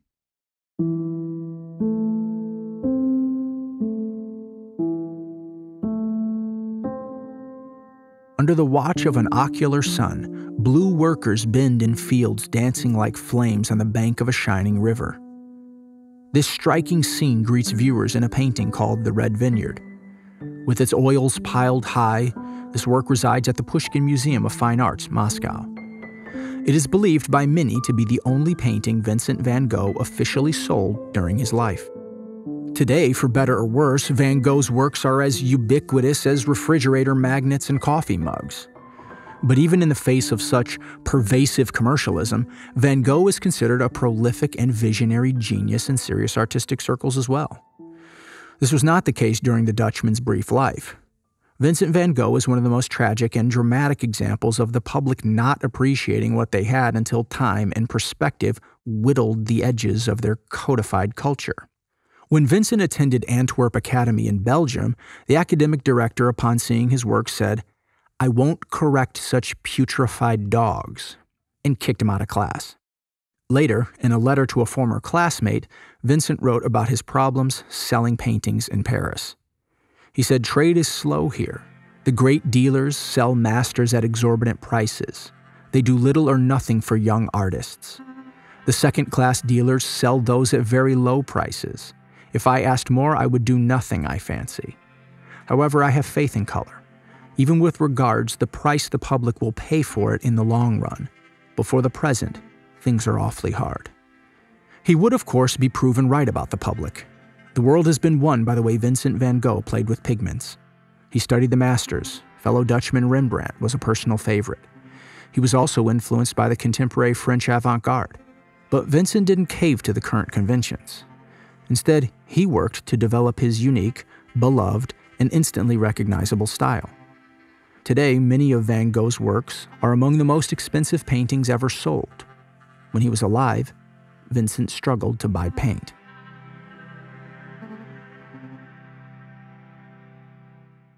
Herman Melville's Moby Dick is considered one of the great American novels, but it wasn't a success upon its release, either critically or financially.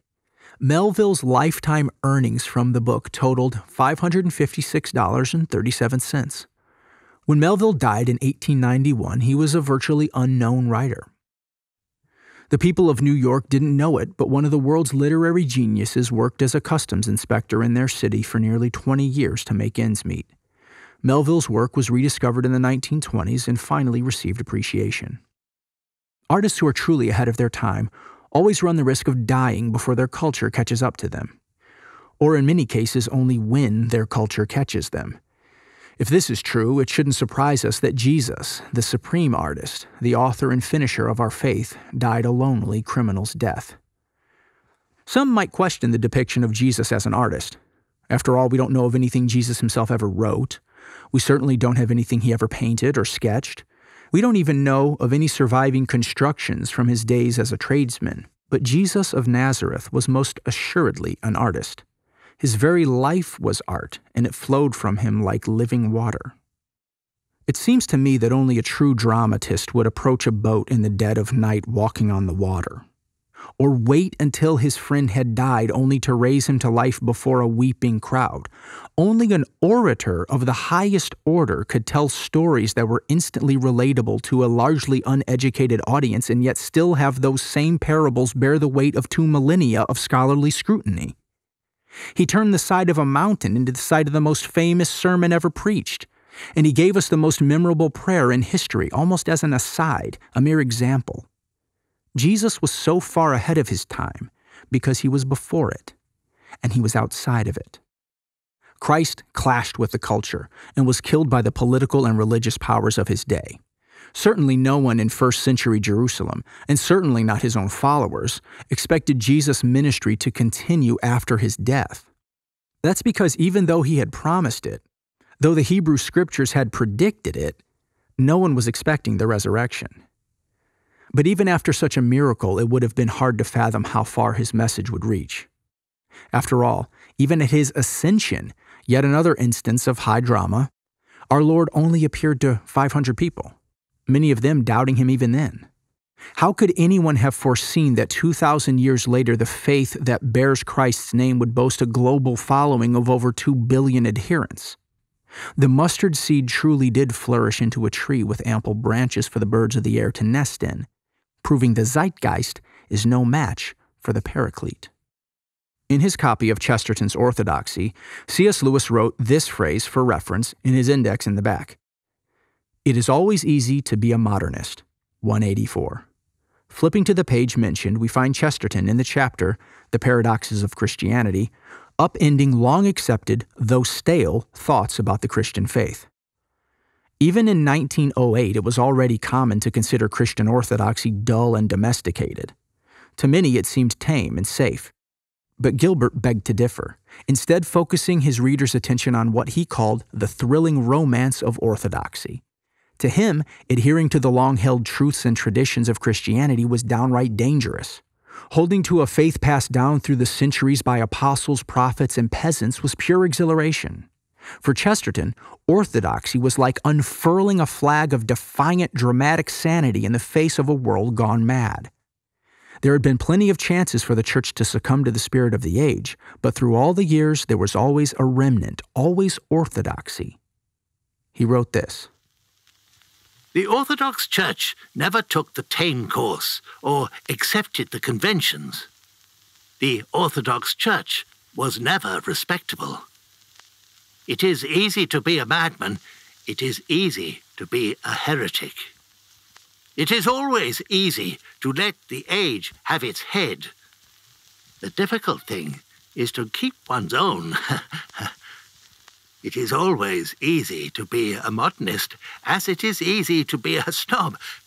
To have fallen into any of these open traps of error and exaggeration which fashion after fashion and sect after sect set along the historic path of Christendom. That would indeed have been simple. It is always simple to fall. There are an infinity of angles at which one falls, and only one at which one stands. To have fallen into any of the fads, from Gnosticism to Christian science, would indeed have been obvious and tame.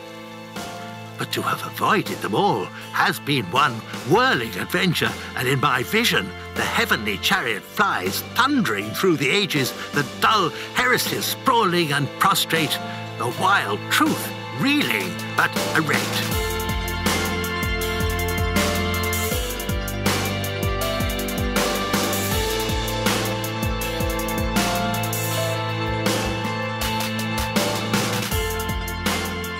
Chesterton was, in many ways, a perfect vessel to deliver this message.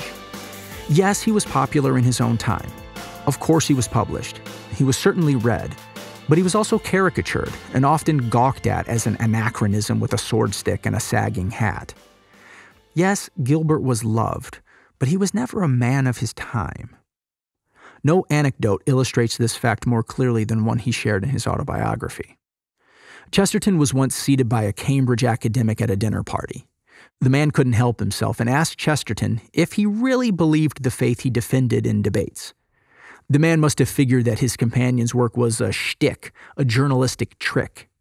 It may have been easier in that moment for Gilbert to concede he was indeed a modernist masquerading as a monk.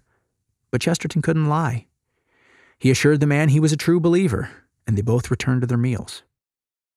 G.K. Chesterton's work has stood the test of time, in part because he knew that true advancements, at least in human terms, don't spring to life ex nihilo, but are built on the best of what's come before. This fact alone should be enough to keep us humble, even as improvements are made. As Chesterton memorably wrote elsewhere in Orthodoxy Tradition means giving votes to the most obscure of all classes, our ancestors. It is the democracy of the dead. Tradition refuses to submit to the small and arrogant oligarchy of those who merely happen to be walking about. The artists, the thinkers, the inventors, and the entrepreneurs who accept that timeless principle and incorporate it into their work are actually best at gaining what might be called the populism of the preborn. C.S. Lewis, like Chesterton, is an excellent example of this, and he wrote specifically against what he came to call chronological snobbery. In Surprised by Joy, he credits his friend and fellow Inkling, Owen Barfield, for breaking him of the conceit he defines as this The uncritical acceptance of the intellectual climate common to our own age, and the assumption that whatever has gone out of date is on that account discredited. You must find why it went out of date. Was it ever refuted, and if so, by whom, where, and how conclusively? Or did it merely die away, as fashions do?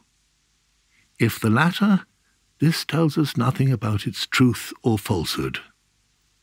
From seeing this, one passes to the realization that our own age is also a period, and certainly has, like all periods, its own characteristic illusions. They are likeliest to lurk in those widespread assumptions which are so ingrained in the age that no one dares to attack or feels it necessary to defend them.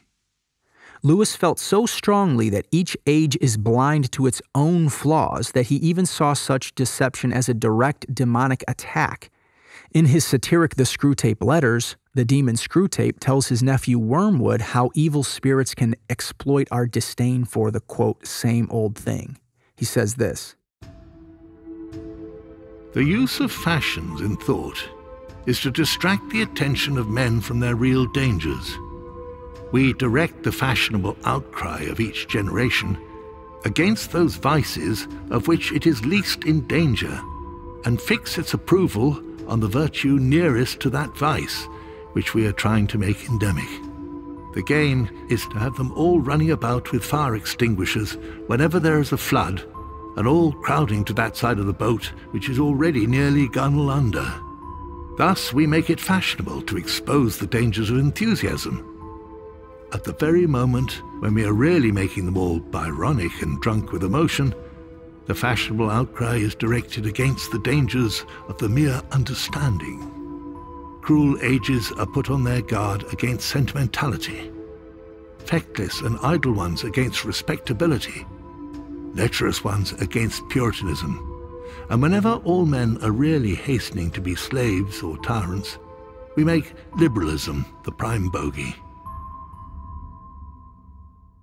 Current thought trends are often extreme reactions to a previous era's unbalanced beliefs, which makes one wonder where is our current Western culture crooked?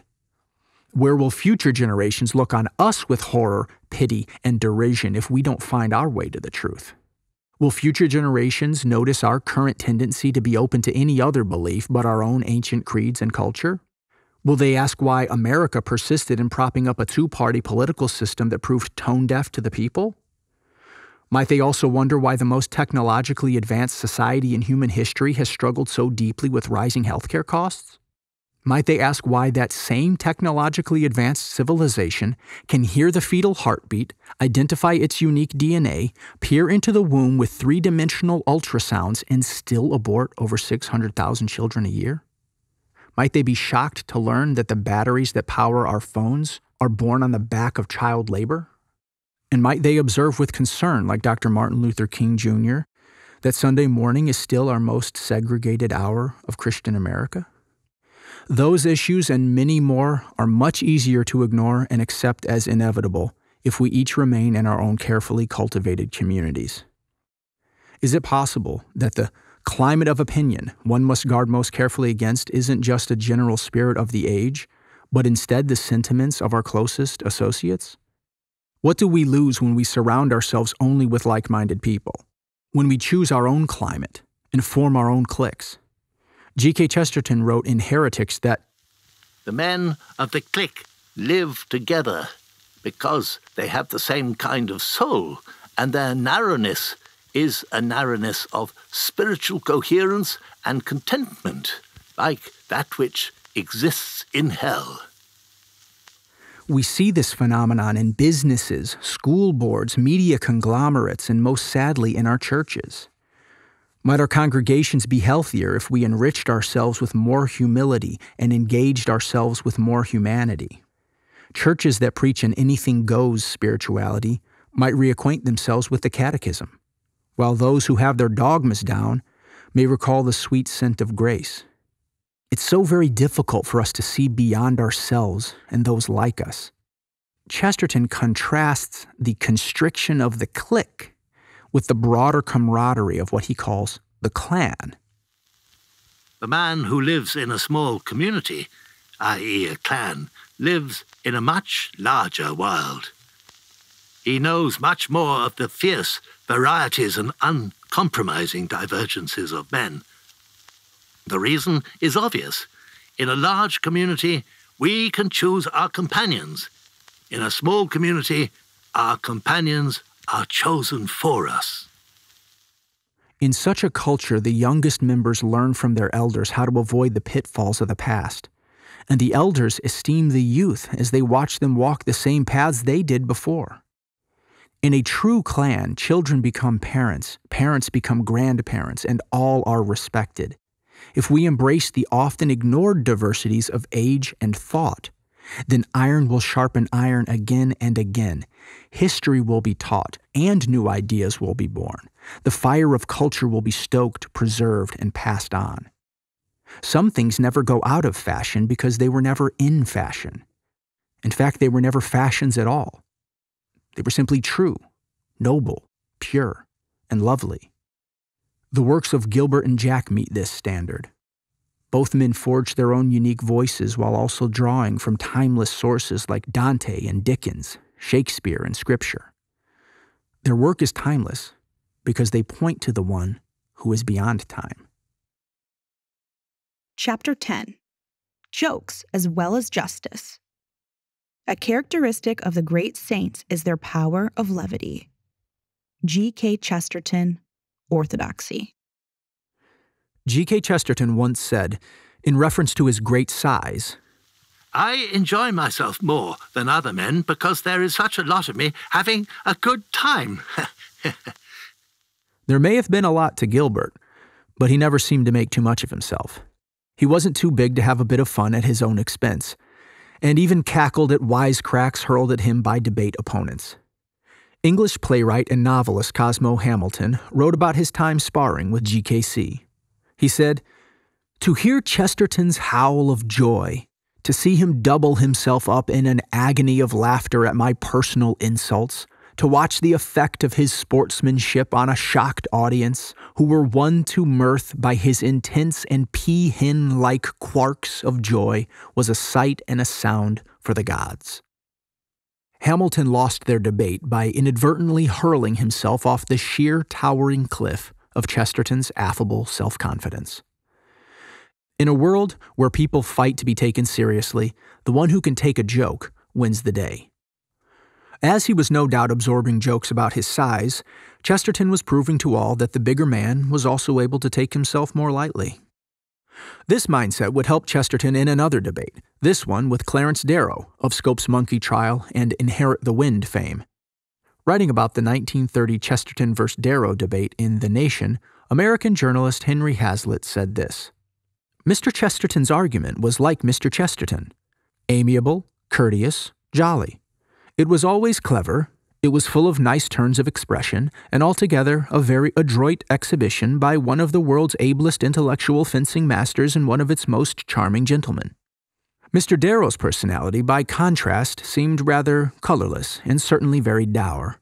His attitude seemed almost surly. He slurred his words. The rise and fall of his voice was sometimes heavily melodramatic, and his argument was conducted on an amazingly low intellectual level. Darrow himself would later say of Gilbert, I was favorably impressed by, warmly attached to, G.K. Chesterton. I enjoyed my debates with him and found him a man of culture and fine sensibilities. But Chesterton's deportment wasn't just a fortunate character quirk that helped him win debates. Chesterton's levity was birthed from the fabric of his Christian faith. He wrote this in Orthodoxy Angels can fly because they can take themselves lightly. This has been always the instinct of Christendom, and especially the instinct of Christian art, Uh, in the old Christian pictures, the sky over every figure is like a blue or gold parachute. Every figure seems ready to fly up and float about in the heavens. The tattered cloak of the beggar will bear him up like the rayed plumes of the angels. But the kings in their heavy gold and the proud in their robes of purple will all of their nature sink downwards. For pride cannot rise to levity or levitation. Pride is the downward drag of all things into an easy solemnity. One settles down in, into a sort of selfish seriousness, but one has to rise to a gay self forgetfulness. A man falls into a brown study, he reaches up at a blue sky. Seriousness is not a virtue. It would be a heresy, but a much more sensible heresy, to say that seriousness is a vice. It is really a, a natural trend or lapse into taking oneself gravely, because it is the easiest thing to do. It is much easier to write a good Times leading article than a good joke in Punch, for solemnity flows out of men naturally. But laughter is, is a leap. It is easy to be heavy, hard to be light. Satan fell by the force of gravity. During C.S. Lewis' reading of Orthodoxy in the 1930s, he made note of the previous passage in the rear flyleaf verso, writing simply, Satan fell by the force of gravity, 222. No doubt the sentiment resonated with the soul of Lewis. Like Chesterton before him, Lewis affirmed and practiced a lighter approach to life. A lovely example of this can be found in a 1957 letter to a young reader, fittingly named Lucy. Lewis wrote sympathetically I'm also bad at maths, and it is a continual nuisance to me.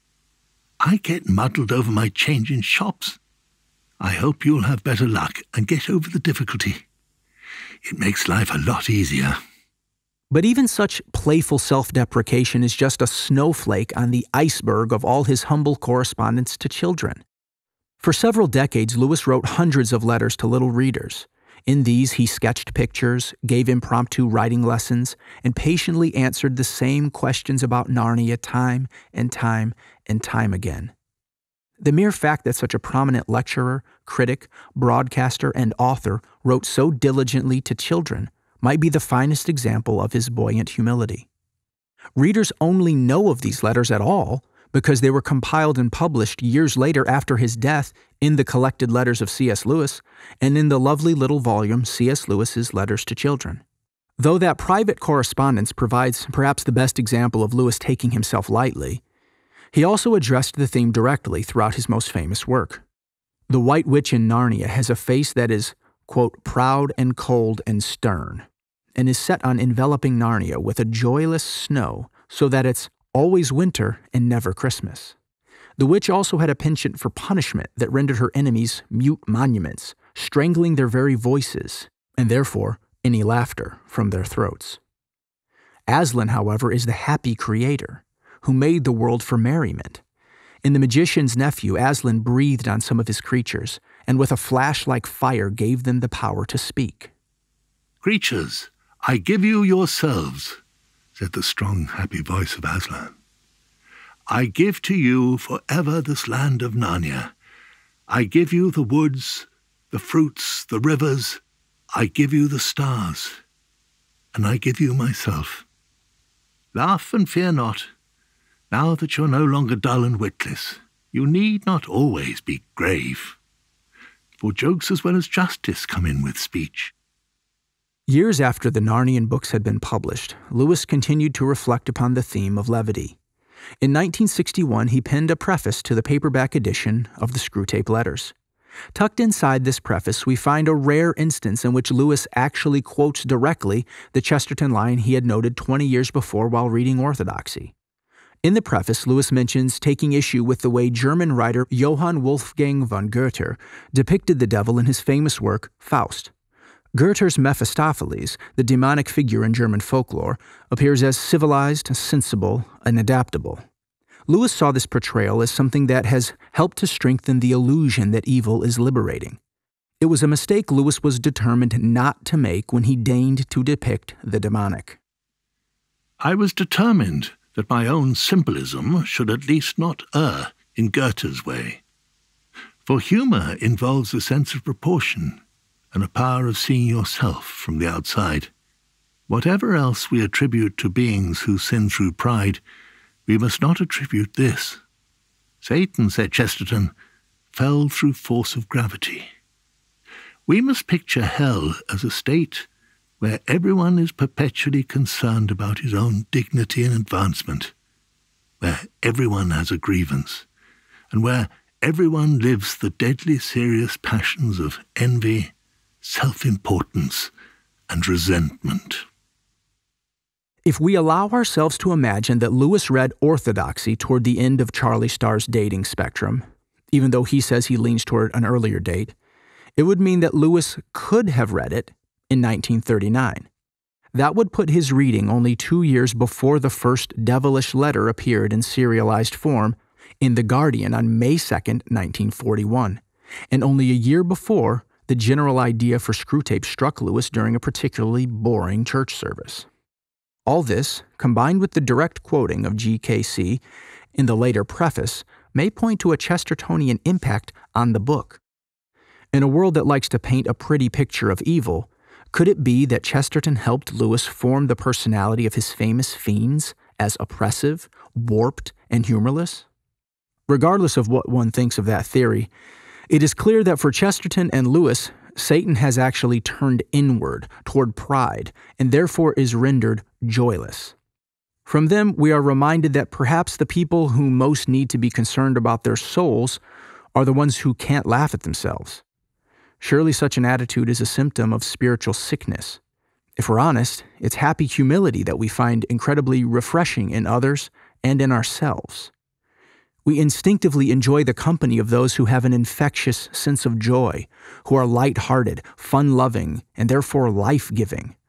Happy people relax us, draw us in, draw us close, and create space for us to be ourselves.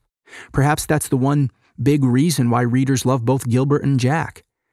They knew how to laugh at the world and themselves in a healthy, not self degrading way. Christians can be far too serious about themselves, but Chesterton and Lewis heartily commend the humility of lightness, levity, and laughter over the pride of serious, sober self righteousness. We don't need to be gloomy, but glad, even in the midst of heartache. Our hurts are real, but even still we can be sorrowful, yet always rejoicing. But even Gilbert and Jack were not always so joyful. Both men had periods of their lives when they were miserable amid the despairing, pessimistic culture of their time, and they longed for something more than the self serious decadence that dominated, looking for something to grab hold of. They were both drawn towards spiritualism and the occult. But that didn't satisfy them. Looking back on his youth, Chesterton wrote in his autobiography I had an overpowering impulse to record or draw horrible ideas and images, plunging in deeper and deeper, as in a blind spiritual suicide. I dug quite low enough to discover the devil, and even in some dim way to recognize the devil. For his part, C.S. Lewis wrote of his worldview Nearly all I loved I believed to be imaginary. Nearly all that I believed to be real, I thought grim and meaningless. The jolliest of all apologists were once weighted with the same gloom that looms for so many. But God had other plans for them. J.R.R. Tolkien pointed Jack to Jesus as they bonded over beer and Beowulf at Oxford. Reading Chesterton and MacDonald began to weaken Lewis's atheistic defenses. Soon he was beginning to see that there was something real to the Christian faith that fueled so many of his other favorite writers like John Milton, Edmund Spenser, and George Herbert. Years earlier, Gilbert began to find his footing when he ran away from playing with the planchette. His sessions of automatic writing with the Ouija board would leave him with searing headaches, and he had to give it up. Finally, in the fall of 1894, Chesterton seemed to have met God in the midst of a fit of depression and left the encounter sensing, quote, the mystically satisfactory state of things. This was a childlike acceptance of the universe. For Gilbert, it was a return to what he had learned in the nursery, what he called his first and last philosophy. As Chesterton came to know Christ, he began seeing the world with the wonder of a child in fairyland quote, the sunny country of common sense. In Jesus, Gilbert and Jack found the only true source of power and their example for living. They found that humans are never more like the devil than when we are filled with self focused, joyless pride, and we are never more like Jesus than when we are filled with self forgetful, happy humility. Too often I have thought of Jesus as eternally sad and serious. How could he not be? He knows the evil in every heart sees how we treat each other and how we ignore him. Of course, Christ takes all this seriously, and the scripture is replete with examples of Christ's sorrow and righteous rage. He certainly wasn't ashamed to overturn tables, weep at the tomb of a friend, or over his beloved rebellious city. But Jesus, even in his divinity, modeled full humanity. His is a humanity that isn't afraid to feel the real emotions of sadness, annoyance, anger, and perhaps most scandalous of all, joy. Christ's love of righteousness, hatred of wickedness, and intimacy with his Father ensures a calm confidence that can only result in delight. The writer of Hebrews confirms that Jesus is indeed infinitely happy, anointed with the oil of gladness beyond his companions. Christ is the one who made fine wine for a wedding, paid the temple tax with a coin found in a fish, and left us with the playful images of the blind leading the blind, a camel squeezing through the eye of a needle, and lilies dressed like kings. At the very end of orthodoxy, Chesterton points out that joy is the gigantic secret of the Christian. Similarly, Lewis wrote in Letters to Malcolm that joy is the serious business of heaven. Indeed, those who discover this may find it to be their secret weapon while still in this world. God save us from the first sin introduced to this world by the devil joylessness, the narcissistic mark of those who take themselves too seriously. And God give us grace to laugh, to lighten up, to levitate. God make us like your Christ, the one G.K. Chesterton praised, like this at the conclusion of Orthodoxy. There was something that he hid from all men when he went up a mountain to pray. There was something that he covered constantly by abrupt silence or impetuous isolation. There was some one thing that was too great for God to show us when he walked upon our earth. And I have sometimes fancied that it was his mirth.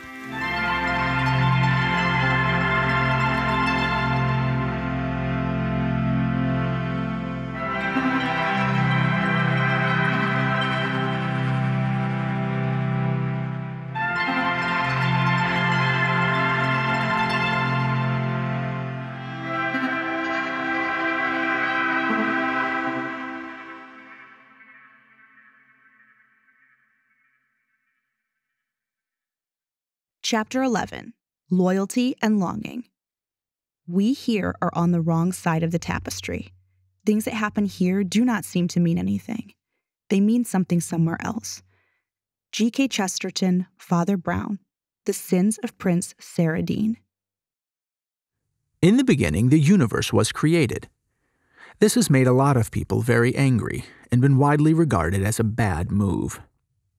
That's how Douglas Adams began The Restaurant at the End of the Universe, book two in his best selling series, The Hitchhiker's Guide to the Galaxy. But such a dim view of the cosmos isn't consigned to the biting humor of sci fi novels. In the academic world, philosopher David Benatar contends that pain and suffering make existence itself an intolerable burden. In his book, Better to Have Never Been The Harm of Coming into Existence, Benatar espouses the antinatalist philosophy, which believes that it is, quote, morally problematic to bring more sentient beings into existence. The opening sentence of Benatar's book proclaims, Each one of us was harmed by being brought into existence. These views may sound extreme, but in many ways they accurately reflect the despair at the heart of atheism. That despair is something that C.S. Lewis was intimately acquainted with. We mentioned in the last chapter that prior to his conversion, Lewis himself considered life grim and meaningless. So, with that in mind, let's pause to imagine a young Jack Lewis. See him in the quiet confines of his school library penning his early epic poem, Loki Bound. Writing from the perspective of the angry Norse god, Lewis lamented Odin, and who art thou to make a soul, and force it into being? Who art thou to bring forth men to suffer in the world without their own desire? This boy would become one of the greatest apologists of the 20th century, but at the time he was troubled by existence itself. He would write later, in Surprised by Joy, about the thoughts he'd had while writing the tragic poem. My Loki was not merely malicious. He was against Odin because Odin had created a world, though Loki had clearly warned him that this was a wanton cruelty. Why should creatures have the burden of existence forced on them without their consent? From his early teens, Lewis had, quote, very definitely formed the opinion that the universe was, in the main, a rather regrettable institution. That sounds like Douglas Adams, doesn't it? One might, understandably, try to trace Lewis's pessimism to the early death of his mother, but he admits that even before that tragedy, he had a, quote, settled expectation that everything would do what you did not want it to do, end quote. Lewis further admitted Loki was a projection of myself. I was at this time living, like so many atheists or anti theists, in a world of contradictions. I maintained that God did not exist. I was also very angry with God for not existing. I was equally angry with him for creating a world. Now let us leave that darkened library and look instead for a moment over the shoulder of an adult C.S. Lewis. We are somewhere in the mid 1930s, not so long after his conversion to Christianity. Lewis has a pencil in hand, but he's no longer writing Loki bound. Instead, he's reading. He's reading orthodoxy. And he's taking notes. In the fifth chapter of the book, woven over 11 pages, Lewis noticed a recurring theme or thread.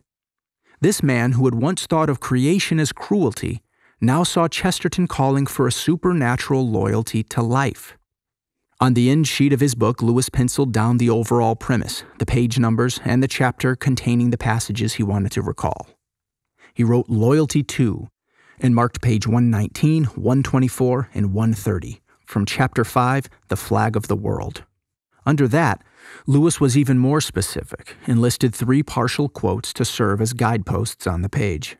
He wrote, In the last chapter it has been said, page 119, the evil of the pessimist is then, page 124, the man who kills a man kills a man, page 130. We turned to page 119 in Lewis's copy of Orthodoxy and found the first paragraph he had wanted to remember. In the last chapter, uh, it has been said that the primary feeling that this world is strange and yet attractive is best expressed in fairy tales. Whatever the reason, it seemed and still seems to me that our attitude towards life can be better expressed in terms of a kind of military loyalty than in terms of criticism and approval. My acceptance of the universe is not optimism, it is more like patriotism. It is a matter of primary loyalty. The world is not a lodging house at Brighton, which we are to leave because it is miserable. It is the fortress of our family, with the flag flying on the turret, and, and the more miserable it is, the less we should leave it. The point is not that this world is too sad to love or too glad not to love. The point is that when you do love a thing, its gladness is a reason for loving it, and its sadness a reason for loving it more. Five pages later, Lewis saw the thread continuing. This time, Chesterton was directly pointing out the flaws of two equally wrong positions pessimism and optimism. The evil of the pessimist is, then, not that he chastises gods and men, but that he does not love what he chastises. He has not this primary and supernatural loyalty to things. What is the evil of the man commonly called an optimist? Obviously, it is felt that the optimist, wishing to defend the honor of this world, will defend the indefensible. He is the jingo of the universe. He will say, My cosmos right or wrong. He will be less inclined to the reform of things. We say there must be a primal loyalty to life. The only question is shall it be a natural or a supernatural loyalty? Lewis continued following the thread that led naturally, soberly, to Chesterton's striking thoughts on suicide. Not only is suicide a sin, it is the sin. It is the ultimate and absolute evil, the refusal to take an interest in existence, the refusal to take the oath of loyalty to life. The man who kills a man kills a man. A man who kills himself kills all men. As far as he is concerned, he wipes out the world. That difficult passage, while perhaps not taking into account the role that genuine mental illness often plays in suicide, does highlight the hopelessness and disdain for existence that many people feel. It's understandable that atheists and antinatalists would doubt the goodness of life itself. From their perspective, it even makes analytical sense. For them, there exists matter, there exists time, and there exists natural selection. There is pain, but no point. There are no flags flying on the turrets of a fairyland, and they feel no real love for what they chastise. From the atheist position, this view even makes emotional sense for people carry hurts every day that are so deep it would do them a disservice to describe here. Suicide is therefore the cold, coherent extreme of this worldview, taken to its tipping point. At its logical end, such a view would wipe out the world by wishing it had never come to exist at all. In the same way, that young Lewis and his literary Loki were right to hate creation if Odin really was the source. Lewis and his Loki saw a world of wanton cruelty precisely because they didn't see it as the work of a loving God. If indeed we were made by Odin, one deity in a panoply of gods, a power hungry wanderer to whom human sacrifices were often made, we would have a right to gripe. But there was something or someone pulling at Lewis that wouldn't let him stay in his anger and confusion. He had friends in the flesh and let's say friends in folios and fantasies that showed him glimmers of something beyond this broken world. As he spoke with friends like Tolkien and read men like Chesterton and MacDonald, another world began to invade his own. This world didn't awaken his contempt, but his curiosity. In this world, even the shadows were bright shadows. And it's here I must contend that C.S. Lewis's loyalty to life can best be understood in a beautiful and mysterious longing. A longing, a desire for something very real, but not yet fully reached. It was a longing that lingered with Lewis through his mother's death and his doubts, through his bleak days at boarding school, and the horrors of the First World War. No doubt this longing was with him as he mourned the death of his dear Joy, and as he faced the tedious, everyday struggles we all privately endure. This theme appears consistently throughout his writings. It's in his letters, his fiction, and his philosophy. Lewis's entire published sermon, The Weight of Glory, is essential reading on the nature of our longing. This subject emerges so often in his work that I had a very hard time deciding which quotes to include. I resigned myself to pulling a few passages from his novels and his apologetic works spanning many years of his career. We find Lewis writing about this longing in his space trilogy when his character Elwin Ransom meets a familiar fragrance on Venus. The cord of longing which drew him to the invisible isle seemed to him at that moment to have been fastened long, long before his coming to Perelandra. long before the earliest times that memory could recover in his childhood before birth, before the birth of man himself, before the origins of time. It was sharp, sweet, wild, and holy all in one. The longing is also clearly expressed in this famous passage from Mere Christianity. The Christian says creatures are not born with desires unless satisfaction for those desires exist. A baby feels hunger. Well, there is such a thing as food. A duckling wants to swim. Well, there is such a thing as water. Men feel sexual desire. Well, there is such a thing as sex. If I find in myself a desire which no experience in this world can satisfy, the most probable explanation is that I was made for another world. If none of my earthly pleasures satisfy it, that does not prove that the universe is a fraud. Probably earthly pleasures were never meant to satisfy it, but only to arouse it, to suggest the real thing. If that is so, I must take care, on the one hand, never to despise, or to be unthankful for, these earthly blessings, and on the other, never to mistake them for something else of which they are only a kind of copy, or echo, or mirage. I must keep alive in myself the desire for my true country, which I shall not find till after death. I must never let it get snowed under or turned aside.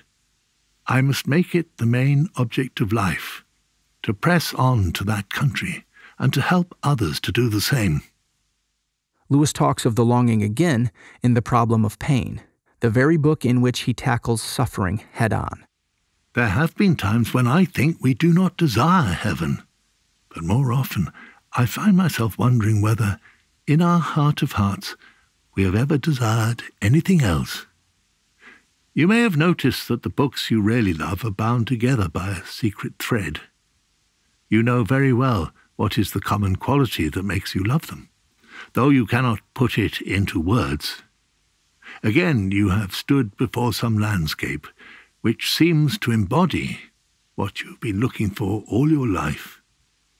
Are not all lifelong friendships born at the moment when at last you meet another human being who has some inkling of that which you are born desiring, and which, beneath the flux of other desires, and in all momentary silences between the louder passions, night and day, year by year, from childhood to old age, you are looking for, watching for, listening for. C.S. Lewis thought his final novel, Till We Have Faces, was his most mature. With his wife Joy, he wrote a retelling of the myth of Cupid and Psyche, and the book features yet another beautiful passage. At one point, Psyche says, the sweetest thing in all my life has been the longing to reach the mountain, to find the place where all the beauty came from, my country, the place where I ought to have been born. Do you think it all meant nothing, all the longing, the longing for home? For indeed it now feels not like going, but like going back. Lewis knew that the world is broken and fallen as a Christian, he was never the jingo of the universe. He was never an optimist. But amid that acknowledgement, Jack's natural ache for a better world became a supernatural longing, a longing that helped lead Lewis to the supernatural loyalty Chesterton spoke of. This world is something that God has given us, and in it we find enjoyment, noble work, and daily opportunities to know our Maker through His Son. But paradoxically, proper loyalty to this world must include a look beyond to the promise of the one to come. Seeing hints of our future home, our promised glory, right here in this good rubble, actually enables us to endure, to love, to serve. In Christianity, the thought of heaven is not rosy colored escapism, but a longing for a person. After all, the essence of heaven is the presence of God. Lewis knew this and was constantly reminding himself in the midst of his own pleasures and pains that, quote, My true good is in another world, and my only real treasure is Christ. He even began to see that his longing, quote, never had the kind of importance he once gave it, but instead was valuable only as a pointer to something other and outer. In the aforementioned The Weight of Glory, Lewis explains that our deepest longings are only satisfied in our being known by God. The sense that in this universe we are treated as strangers, the longing to be acknowledged, to meet with some response, to bridge some chasm that yawns between us and reality, is part of our inconsolable secret. And surely from this point of view, the scriptural promise of glory becomes highly relevant to our deep desire. For glory meant good report with God, acceptance by God, response, acknowledgement, and welcome into the heart of things. The door on which we have been knocking all our lives will open at last. And on the other side of that door, the faithful will find a pleased Father and a loving Savior. The most complete rebuttal the Christian has for the atheist is Christ. The most full defense for life is that the one who gives it is also the one who lived it. Jesus proved that life on this earth is worth living by joining us down here in the dirt. His flesh, that can feel the prick of a thorn, proves our flesh isn't something to scorn. His tears at the tomb hint that yours will be noticed. His beating heart instructs us to steward each beat of our own. His sweat shows that pain does have purpose. His shed blood gives meaning to any we might shed in His service. The Apostle Paul admits that if Christ has not been raised, your faith is futile. You are still in your sins. Then those who also have fallen asleep in Christ are lost. If only for this life we have hope in Christ, we are of all people most to be pitied. But he goes on to declare that Christ has indeed been raised from the dead, the first fruits of those who have fallen asleep. The life, death, and resurrection of Jesus reveal the inherent worth of existence. Because in life, we find the opportunity to love, serve, and know our Heavenly Father, who is of supreme worth. He is our treasure, he is the one from whom all blessings flow, and the only one who can satisfy the deepest longings of our hearts for all eternity. Near the end of Surprised by Joy, Lewis recounts the now famous final step of his conversion. I was driven to Whipsnade one sunny morning. When we set out, I did not believe that Jesus Christ is the Son of God. And when we reached the zoo, I did. He would go on to describe the sheer beauty of the place. Wallaby Wood, with the birds singing overhead and the bluebells underfoot and the wallabies hopping all around one, was almost Eden come again. It seems right that a man who once despised creation itself would be found by God, like a child, in a zoo that called to mind the original good garden. It also seems fitting to note that Lewis felt they have spoiled Whipsnade since then. Yet another reminder that earthly Edens never last. Not long after that conversion, Lewis wrote from the kilns to his dear friend Arthur Greeves. The letter, dated December 4, 1932, illustrates how profoundly his worldview had changed.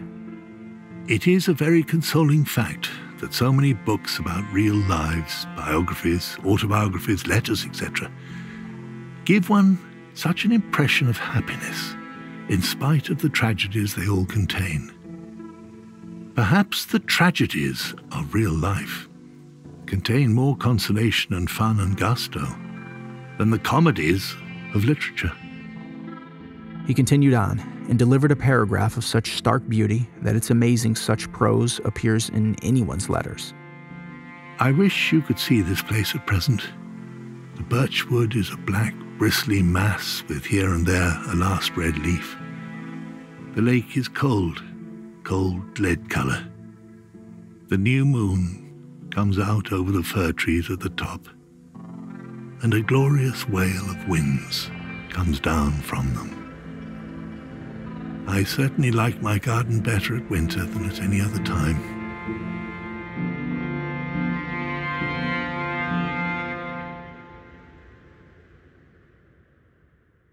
Lewis had become a man who finally saw something lovable lurking in life, even amid the winter chill. His letter is a painterly depiction from someone learning to live with the loyalty of those last red leaves. Lewis clung to his branch, but only until the day that he would finally hear those words all Christians long to hear Well done, thou good and faithful servant.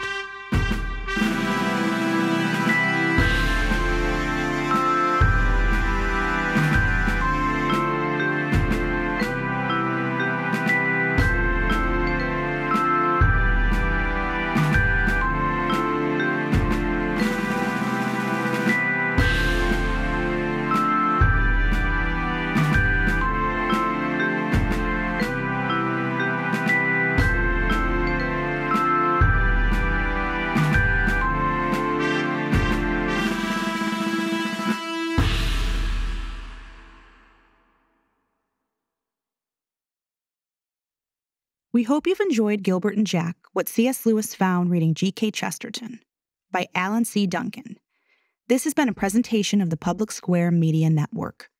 This production was executive produced by David Zanotti, directed, edited, and mixed by Alan C. Duncan, recorded by Alan C. Duncan and Rupert Stutchbury, hosted by Joanna Duncan, read by the author with music by the author, and featuring Rupert Stutchbury as G.K. Chesterton and C.S. Lewis audio production first published in 2020 by the American Policy Roundtable. Text copyright 2020 by Alan C. Duncan, all rights reserved.